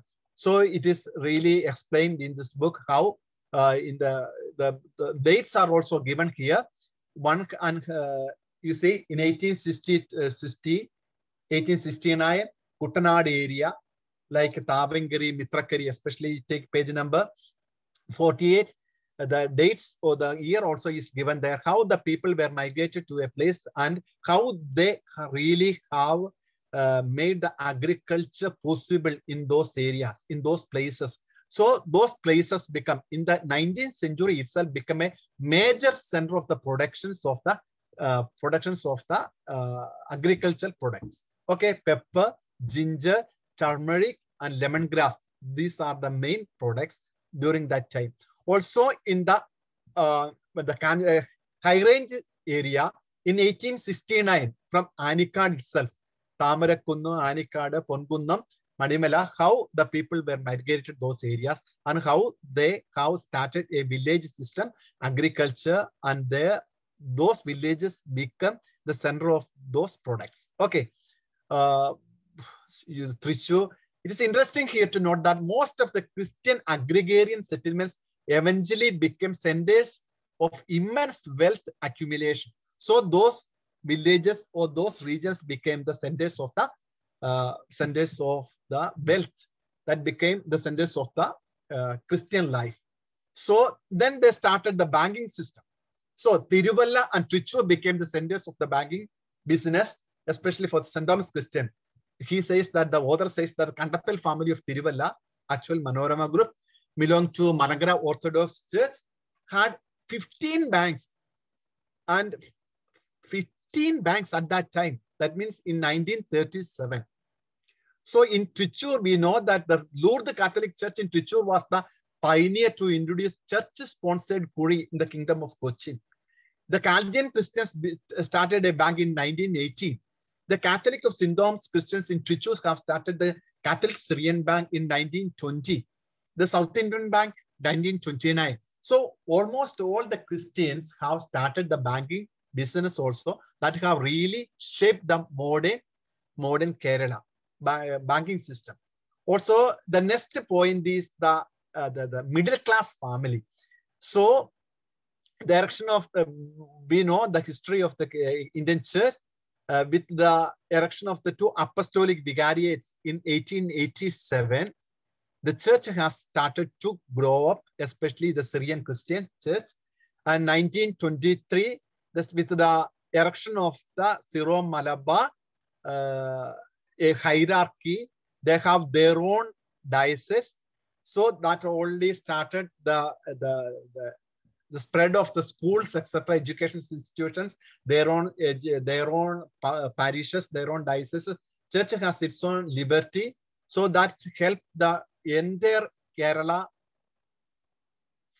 church has developed their own educational institution, etc. Okay, just to go through the pages, how the church in Kerala has really uh, developed the educational system, etc. These three domain, at least keep in your mind that agrarian or agriculture, banking, and middle class society, how the, the, the church has contributed to the development of the middle class society. Okay. Also, the hospitals and healthcare. We know that with the coming of the Portuguese, the Portuguese in the 16th century have really started a small hospital in, in Cochin, Santa Cruz Hospital, Hospital of Santa Cruz. That in the 16th century itself.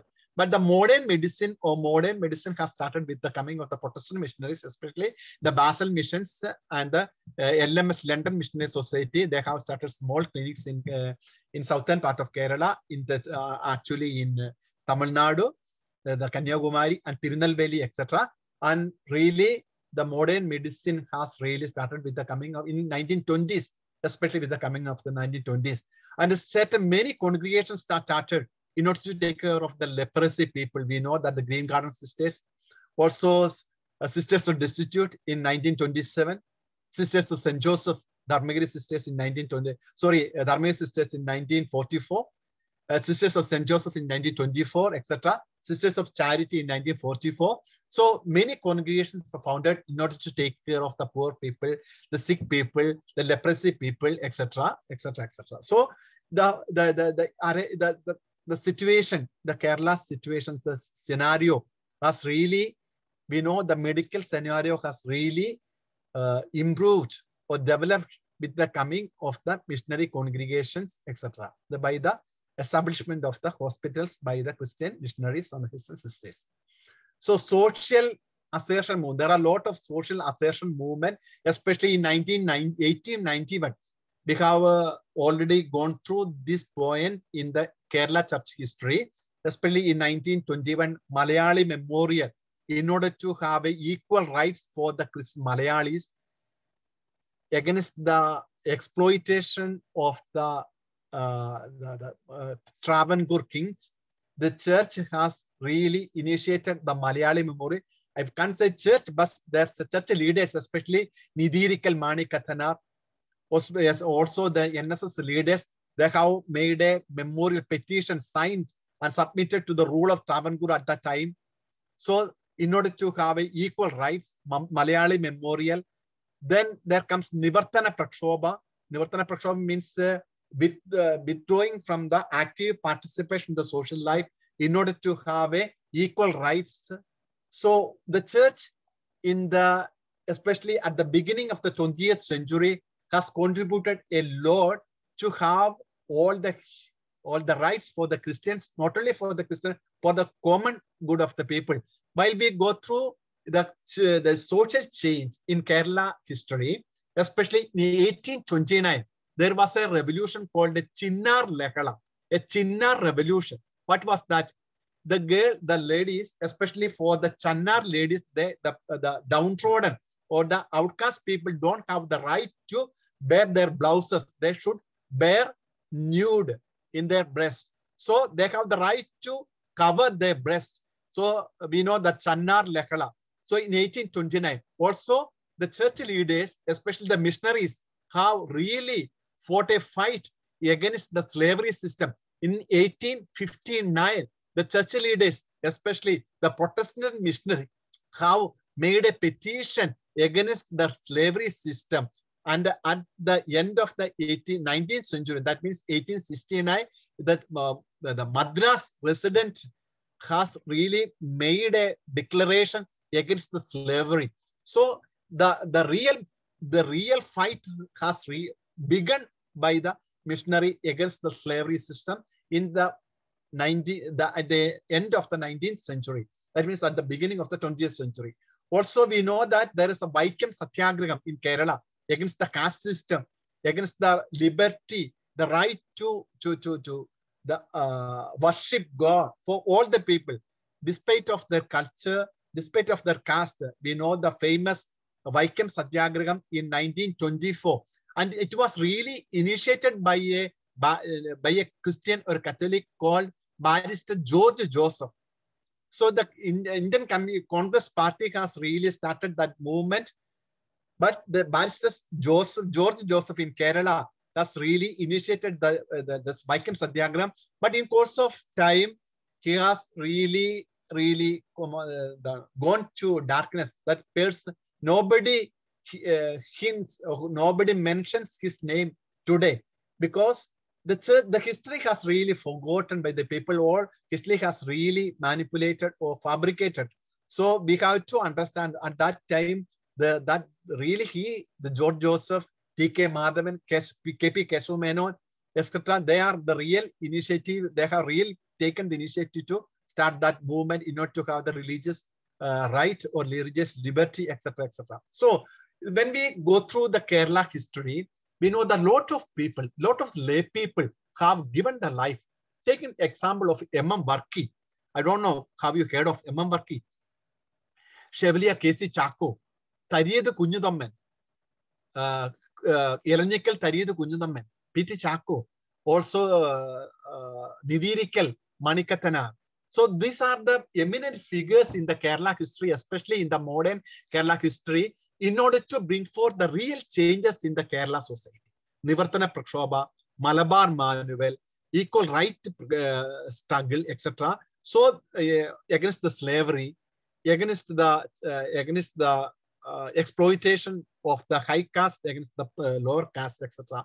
So these are the eminent historical Christian leaders who brought forth really a great change in the in the in the Kerala situation.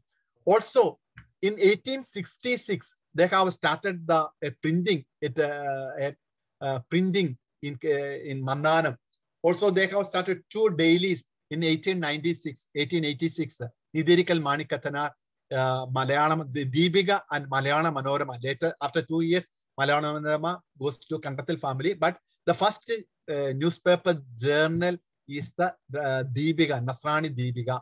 So uh, the, the the details are given in this chapter. You please go through because it is very, very interesting. We have to at least keep in our mind that what our church or what our Christian leaders, what our lay people has contributed to the betterment of the society for the uh, for the society. Okay, so you have to be uh, at least aware on those points. Okay, the next chapter, I come to the next chapter.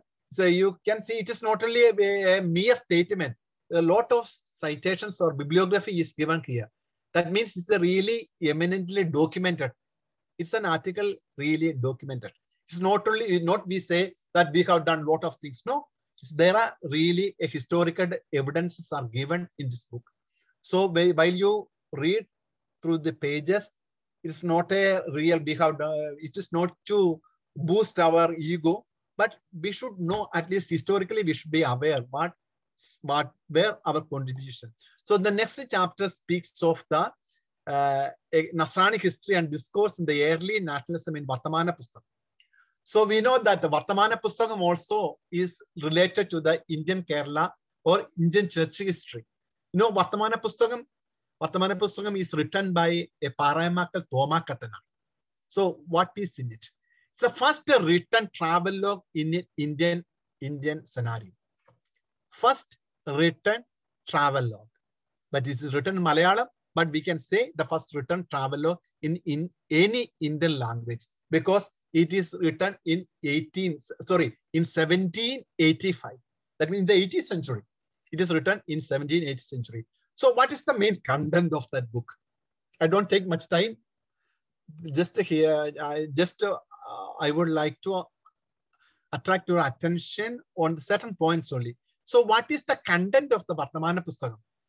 There are two main points. So we know that Parayamakal Thoma Katana and Joseph Cariati, they made a journey to Lisbon and Rome in order to convince the Pope and the, uh, the, the king of Lisbon or the reign of uh, Lisbon to reunite the departed portion of the Syrian Christians. That means Puttanguchagare, in order to reunite the Puttanguchaga, the church has entrusted Thoma Katana and Cariati to make a journey to Lisbon and Rome to convince them to reunite the departed portion. So they have started a, a journey from 17, uh, 1778 that lasted 1786, about uh, 86. That means about uh, eight years. It's a travel log of eight years. So the, what are the main two points in that book? The first, there is a real clear vision of national identity. The question of national identity. And his main argument, main focal point is that India should be ruled by the Indians. India should be ruled by Indians. The second one is, it is against the Latin or European missionary dominance over the Syrian Christians. If you ever come to, uh, if you have ever an occasion to read the Vartamana Pustakam, I would strongly recommend you, please, please, please read. You will get a, a comprehensive picture, a historical scenario during 18th and 19th century. Parayamakal Thoma Katana is a very erudite person.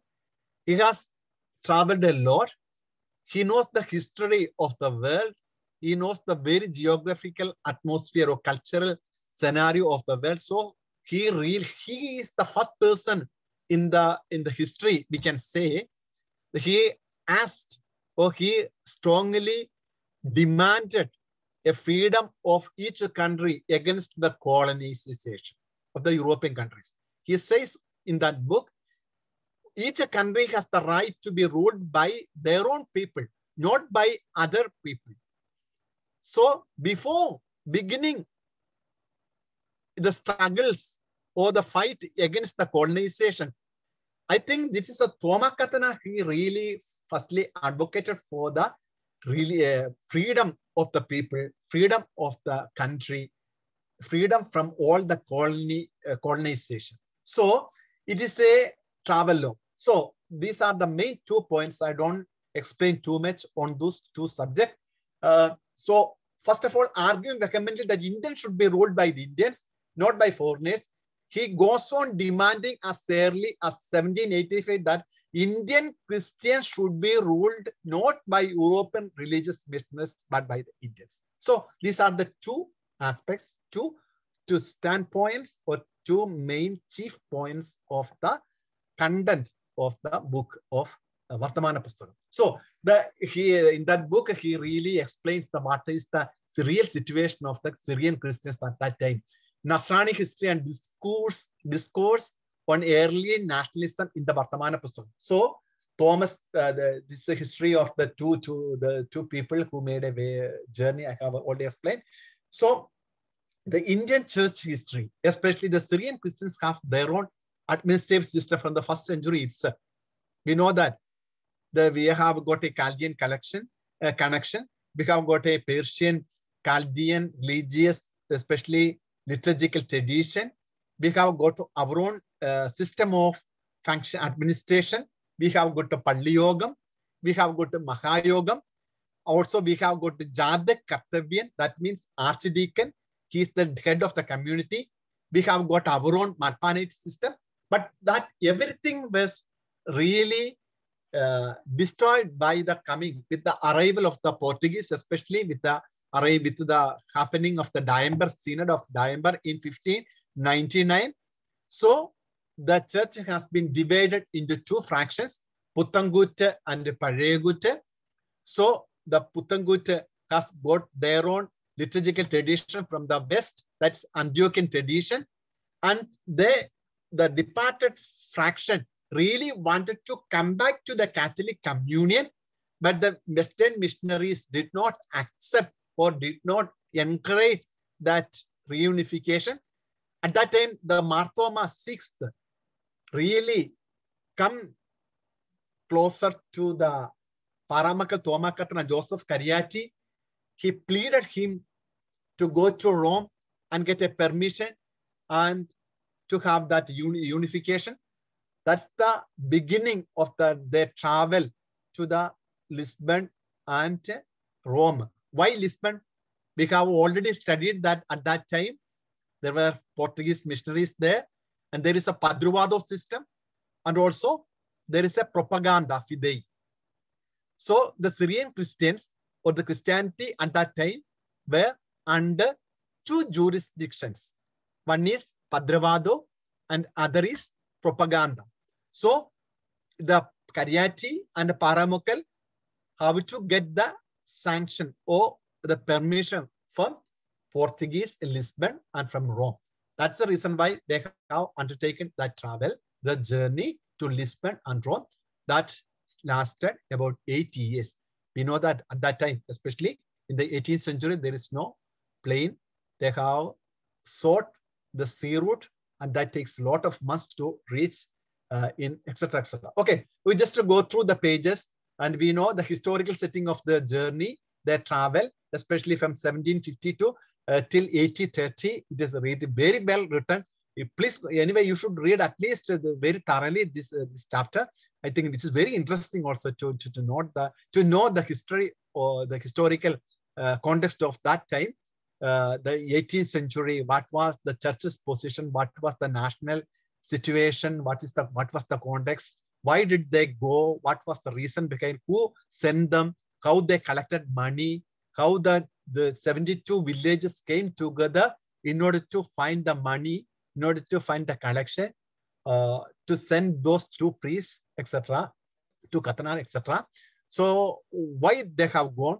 What are the uh, political scenario uh, till time? So it's a eight years of journey, 1778 till 1786. Okay, and they have already uh, traversed, uh, gone to Tikhon, Madras, Cape of Good Hope, at the at the end of the Cape of uh, South Africa, uh, Lisbon, Catalonia, Genova, Livorno, Pisa, or Rome. These are their uh, route, their uh, journey, travel route. Okay, so uh, I don't take much time on this uh, on that uh, chapter. It's very very. I should strongly recommend you to read those uh, this chapter because it is it's very interesting to know the historical context. Also, the national why the Vartamana Pustakam has got a national a national spirit that you can understand while reading it. Okay, then uh, okay then okay the next chapter deals with uh, the communism isn't it? So that that chapter, I have already told you, uh, that chapter is uh, uh, explicitation of the beginning of the communist uh, ideology. That means uh, it, it, it, it speaks so sorry sorry the next chapter is not a communism. It is a Nasrani Christians and the social process of Kerala. So oh, before the 16th century how the how the what what was the situation of the Kerala community till 16th century? And how the sea route of the from uh, sea route from China to India has uh, developed a maritime commerce etc what was the main trade, etc. So I think it is not so much, especially how the Kollam, how Kollam has become a important place because uh, two leaders known as Mar Sappo and Mar Proth, two much uh, so businessmen came to from Persia, came to Kollam in 1828-23, 823 AD, and how the king received them how they have given the privileges to uh, to to to uh, to make the business etc how the Kollam has become the center of the the commerce etc is given it is given there. Okay. And also uh, they were given certain privileges. That privileges uh, in malayalam have you heard of the tarisapalli chepped what is chepped means? Chepped means it's a copper plate inscribed the privileges were inscribed on the copper plates given by the kings or rulers of the region to someone who has got some authority. With that copper plates or that uh, inscription, that's a privileges. So what are the privileges? Tarisapalli Chepped. Have you heard of the Tarisapalli Chepped? They have the right to keep the uh, types of weights and measures. Parakol, Panjangandi, Kapan, etc. It is uh, written there. So as for, the Malayalis, they can understand very easily, but others, I don't know, they can understand what does mean uh, this uh, etc. The uh, copper plate inscription, etc. So the, uh, this chapter also explains how the Christians, especially in the 8th century, especially in the 9th century, these two commerçant Christian uh, businessmen came to Kerala, especially in Kollam. They were received by the kings and how uh, slowly flourished the flourished the, the business or merchandise, especially with the help of this two, two, two, uh, two businessmen. So uh, slowly the process of urbanization and the, the uh, network of Angadi, Angadi system has really developed with the uh, this commerce, uh, commerce, commerce. Okay, the, the next chapter, I okay. Okay, the next chapter I already told you about uh, that uh, the beginning of the communism. So uh, I, I strongly advocate that you read that Hindi and the Malayalam chapter. Uh, in the Malayalam chapter, we speak of the present communist ideology. What are the basis of the present communistic ideology? In this chapter, they try to, the author wanted to explain the beginning of the ideology of communism. That means he goes back to the Greek Greek age. That means the communism, the, the there are three uh, aspects. First of all, a proper communism means what? It comprises communistic anarchism, socialism, and communism. Okay, okay, communism includes the, the ideology of the communism. So what means communistic anarchism? Communistic anarchism would abolish not only private property, but a political government also. So there is a there is no government. Okay, there is no private property. That is the a, a communist anarchism. Socialism also advocates for the equality, but at the same time, uh, collective ownership. Even if there is no individual ownership, there is a collective ownership. Uh, okay, communism in the strict sense, the production of goods such as land, railways, factories, and everything is owned by the government. The person has no right. The government has all the right. The ruling government has all the right. So these are the main three components of the communism, etc. But uh, we don't want to read all the the, the what is the beginning of the idea ideology of the communism. The author wanted to explain in the Greek time, especially uh, the Greek communism, the uh, history. You see, page number 124 speaks of the uh, 1300 BC. The in the in the Greece, Crete, the philosophers called uh, Plutarch speaks of a ideal community where the state owns everything, etc. Also, the the uh, the Plato, the greatest uh, the, you have heard of the Plato, Aristotle, etc. The Plato has written a book on republic. There is an ideal state that's beyond the material world. There is always a something ideal state is there and and in that state everything is equal everything is like our maveli nadu vanidum so he speaks of that uh, that the ideal world. The communistic principle governed for a time the lives of the first christians of jerusalem. So when we come to the jerusalem community we say that everyone everything is shared equally. They came together. There is no private property. Everything everything was sold and they have submitted before the apostles, etc. So I think the in the beginning, but outside the Jerusalem community, that doesn't exist. And we know that why that happened. I don't want to explain more on that topic. Anyway, we said that we cannot uh, categorically state that it is a complete, uh, the Christianity in the beginning is a, a real communistic is, uh, idea, followed a common ownership, etc., etc. So that's only for a, a few few years inside the Jerusalem community. That is not an ideal for the Christian teachings, etc. And after that, we say, uh, we especially in the letters of St. Paul, how the community helps each other, how each one has its own private property, etc. Catholic Church always advocates for the private ownership, etc. That we will study uh, in the social documents of the church, etc. So, uh, in this in this chapter, the author wanted to explain the, the, the several community based on the the, the socialistic communist idea, especially in uh, United States, in French, French, uh, French ideology, etc. But I wanted to tell you, uh, despite of this, along with this chapter, really communism, especially we know that the communism has started, especially the modern communism was started by the Karl Marx and Engels, isn't it?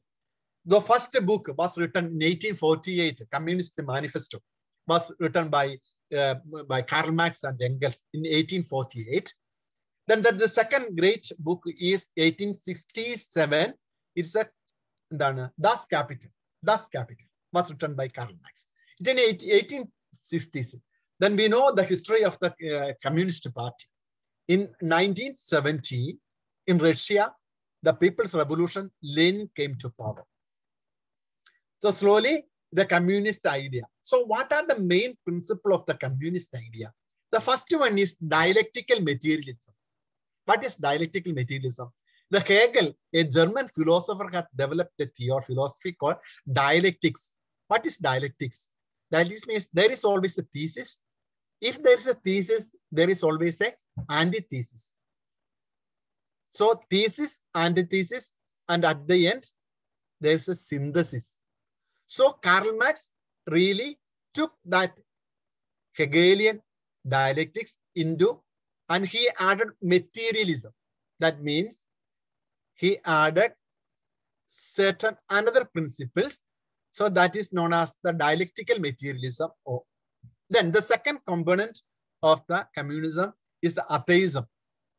So they always negate, they say the religion is the opium we are striving for another world, neglecting the present suffering, etc. So the present communism is based on this atheism, dialectical materialism, etc., etc. So uh, we should at least uh, theoretically should know the real, uh, real, um, real ideal, ideology behind the communistic principles, etc. So so okay you don't read this if you have time you please go through otherwise i don't recommend you to read because this is really a, a, a theoretical study of the beginning of the communism in the history of the humankind, etc. The chapter eight also, you please, if you, you can read this, uh, there's, there's no problem. But I think you will get an overall uh, vision, overall view with the Malayalam text. Vimojana Samaram. We know that Vimojana Samaram, liberation struggle. In English, it's a liberation struggle. All the Malayalis know very well the, what is the liberation, Vimojana Samaram. In 1957, the communist government came to power in Kerala. EMS Namboodiripad was the chief minister, we know. This is why it is known as the first communist government elected democratically in the world. So we can accept it. So there are counter argument, but anyway, we say or we say we hear that it is the first communist government democratically elected. So EMS Namboodiripad government came into power in 1957. So in 1957 itself, uh, certain bills were proposed, especially uh, Joseph Mundaseri Vidyabhyasa bill. Also, some uh, Bhu Parishkarana, the land reform bills. These are the two main bills. And there are positive aspects for those two bills. We can accept it. We cannot negate, we cannot refuse the positive aspects of the two bills. Actually, there is the, the common, what we say, the positive aspect of the, the, the, the education bill is that during that time, many private management really exploiting, were exploiting the teachers, not giving ample or not giving enough salary, etc. So the there is a justice is being done by that education bill. What is what is the problem with that bill? The problem, first of all, they started to change the curriculum. That means the Joseph Mundaseri has introduced the really, they changed the historical books.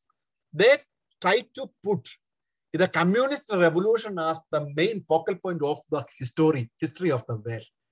നമ്മുടെ ഈ പാഠപുസ്തകങ്ങൾ all the education texts really started, they started to change.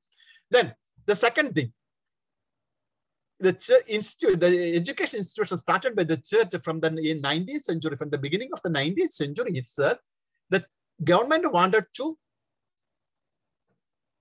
grab it or private, they wanted to governmentalize, uh, take it as a public schools. So the actually the church really started those schools, but the government wanted to uh, grab all those schools as a part of the government public system. So church was against it. Not only church, all the groups, especially NSS people, SNDP, Nair, NSS, SNDP, and Muslim League, all were against the education bill. I have already stated that there are certain positive points were there. But that is not only the case of this Vimodana Samaram, liberation struggle. We know that. While coming, we, if you go through the Malayalam book, it is well written, but in English, it is not at all explained very well. It is not because of the education bill that we started the uh, started the liberation struggle. Because the liberation struggle has really started in the eight, uh, 1959 education bill was really enacted or uh, was started in 1957 on Ma- uh, May. But the liberation struggle, Vimodana Samara started in 1959. It is not because of the education bill. It's one of the reason, but it's not the sole reason. The communist cell regime regime has started. That means, you know, in Kerala, especially in Malabar, there are communist party villages, you know, there are cell uh, rule there are certain government, there is a system. The we know that where the communism has really grabbed the power, they started all kinds of the, the, the human freedom has really, really uh, neglected and there's really uh, uh, suppressed the human liberty, etc. So you, you go to the Malayalam books, there are certain certain statistics are given there, how the, the, the communistic cell government has started in the village system. There are a lot of the, the, factories were closed, lot of arrestation. Those who against the communist party were really tortured and they were put into prison, etc. Also, that also really, uh, really ignited a revolution against the Kerala communist government. The second one is what is a land reform bill. Actually, the Christians supported the land reform bill because why? the migrated people from the south to the north or high range or Malabar, they have the right to have the land. So actually the, the Christians wanted to support the land reform bill. So what happened? But the Nair, Mannathu Padmanabhan strongly, the Nair group was strongly against the land reform bill. So in order to uh, unite with the Nair, uh, Mannat, especially the Nair Service Society, church also uh, obliged to support this uh, liberation struggle. So it is not only the church has really initiated this liberation struggle. All the community, SNDP, NSS, uh, Muslim League, all the community has really started that, that uh, revolution. It is not in 1957, it is in 1959. About 10 lakhs people, they have made a memorandum. They have signed the petition against the communist government. So we know that the, after there was a massacre, there is a gunshot, and seven people were died in Angamali, especially a pregnant woman were, uh, was died in the during the firing. So that really, really exploded the situation. And actually, at the end, in 1959, Nehru government has dismissed and uh, brought the Kerala under governor's rule or president's rule. So uh, I think I uh, I strongly recommend that you read the Malayalam uh, Malayalam version because it is not at all comprehensive. The English article is not at all comprehensive. Okay. Uh, for the moment, I think it is already uh, for you. My for me here in France, it is only 6:30. For you, maybe it is 10:30 already. what we have seen from the beginning, the importance of the politics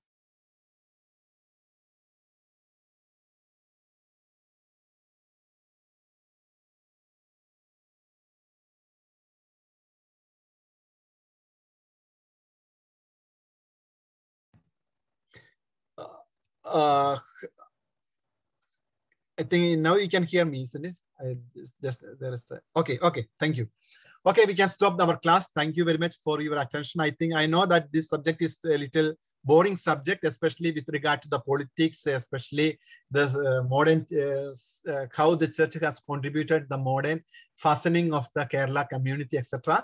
For the non-Keralites also, it may be some difficult uh, for them or else it's not so interesting in general. But the first two chapters, I think it's very important to understand what is politics, why we are, uh, what are the biblical aspects of the political theology, and what are the doctrinal aspect of the politics, and uh, how we should respond to the, our duties and our what are the rights of a human citizen as a human citizen, what our duty as a Christian, etc. What is the aspect of the kingdom of God, and what is the concept of the Christian view of the politics, etc. So these two, these aspects are explained in the first two chapters. Okay, you please go through those chapters. Then the other chapters are mainly focused on the uh, Kerala context, especially. Okay, thank you. Uh, I, I, I think it's already 10.30. Thank you very much. May God bless you. Uh, thank you very much perhaps we can hear uh, for the next class. We can meet next class. May God bless you. We can pray for a moment.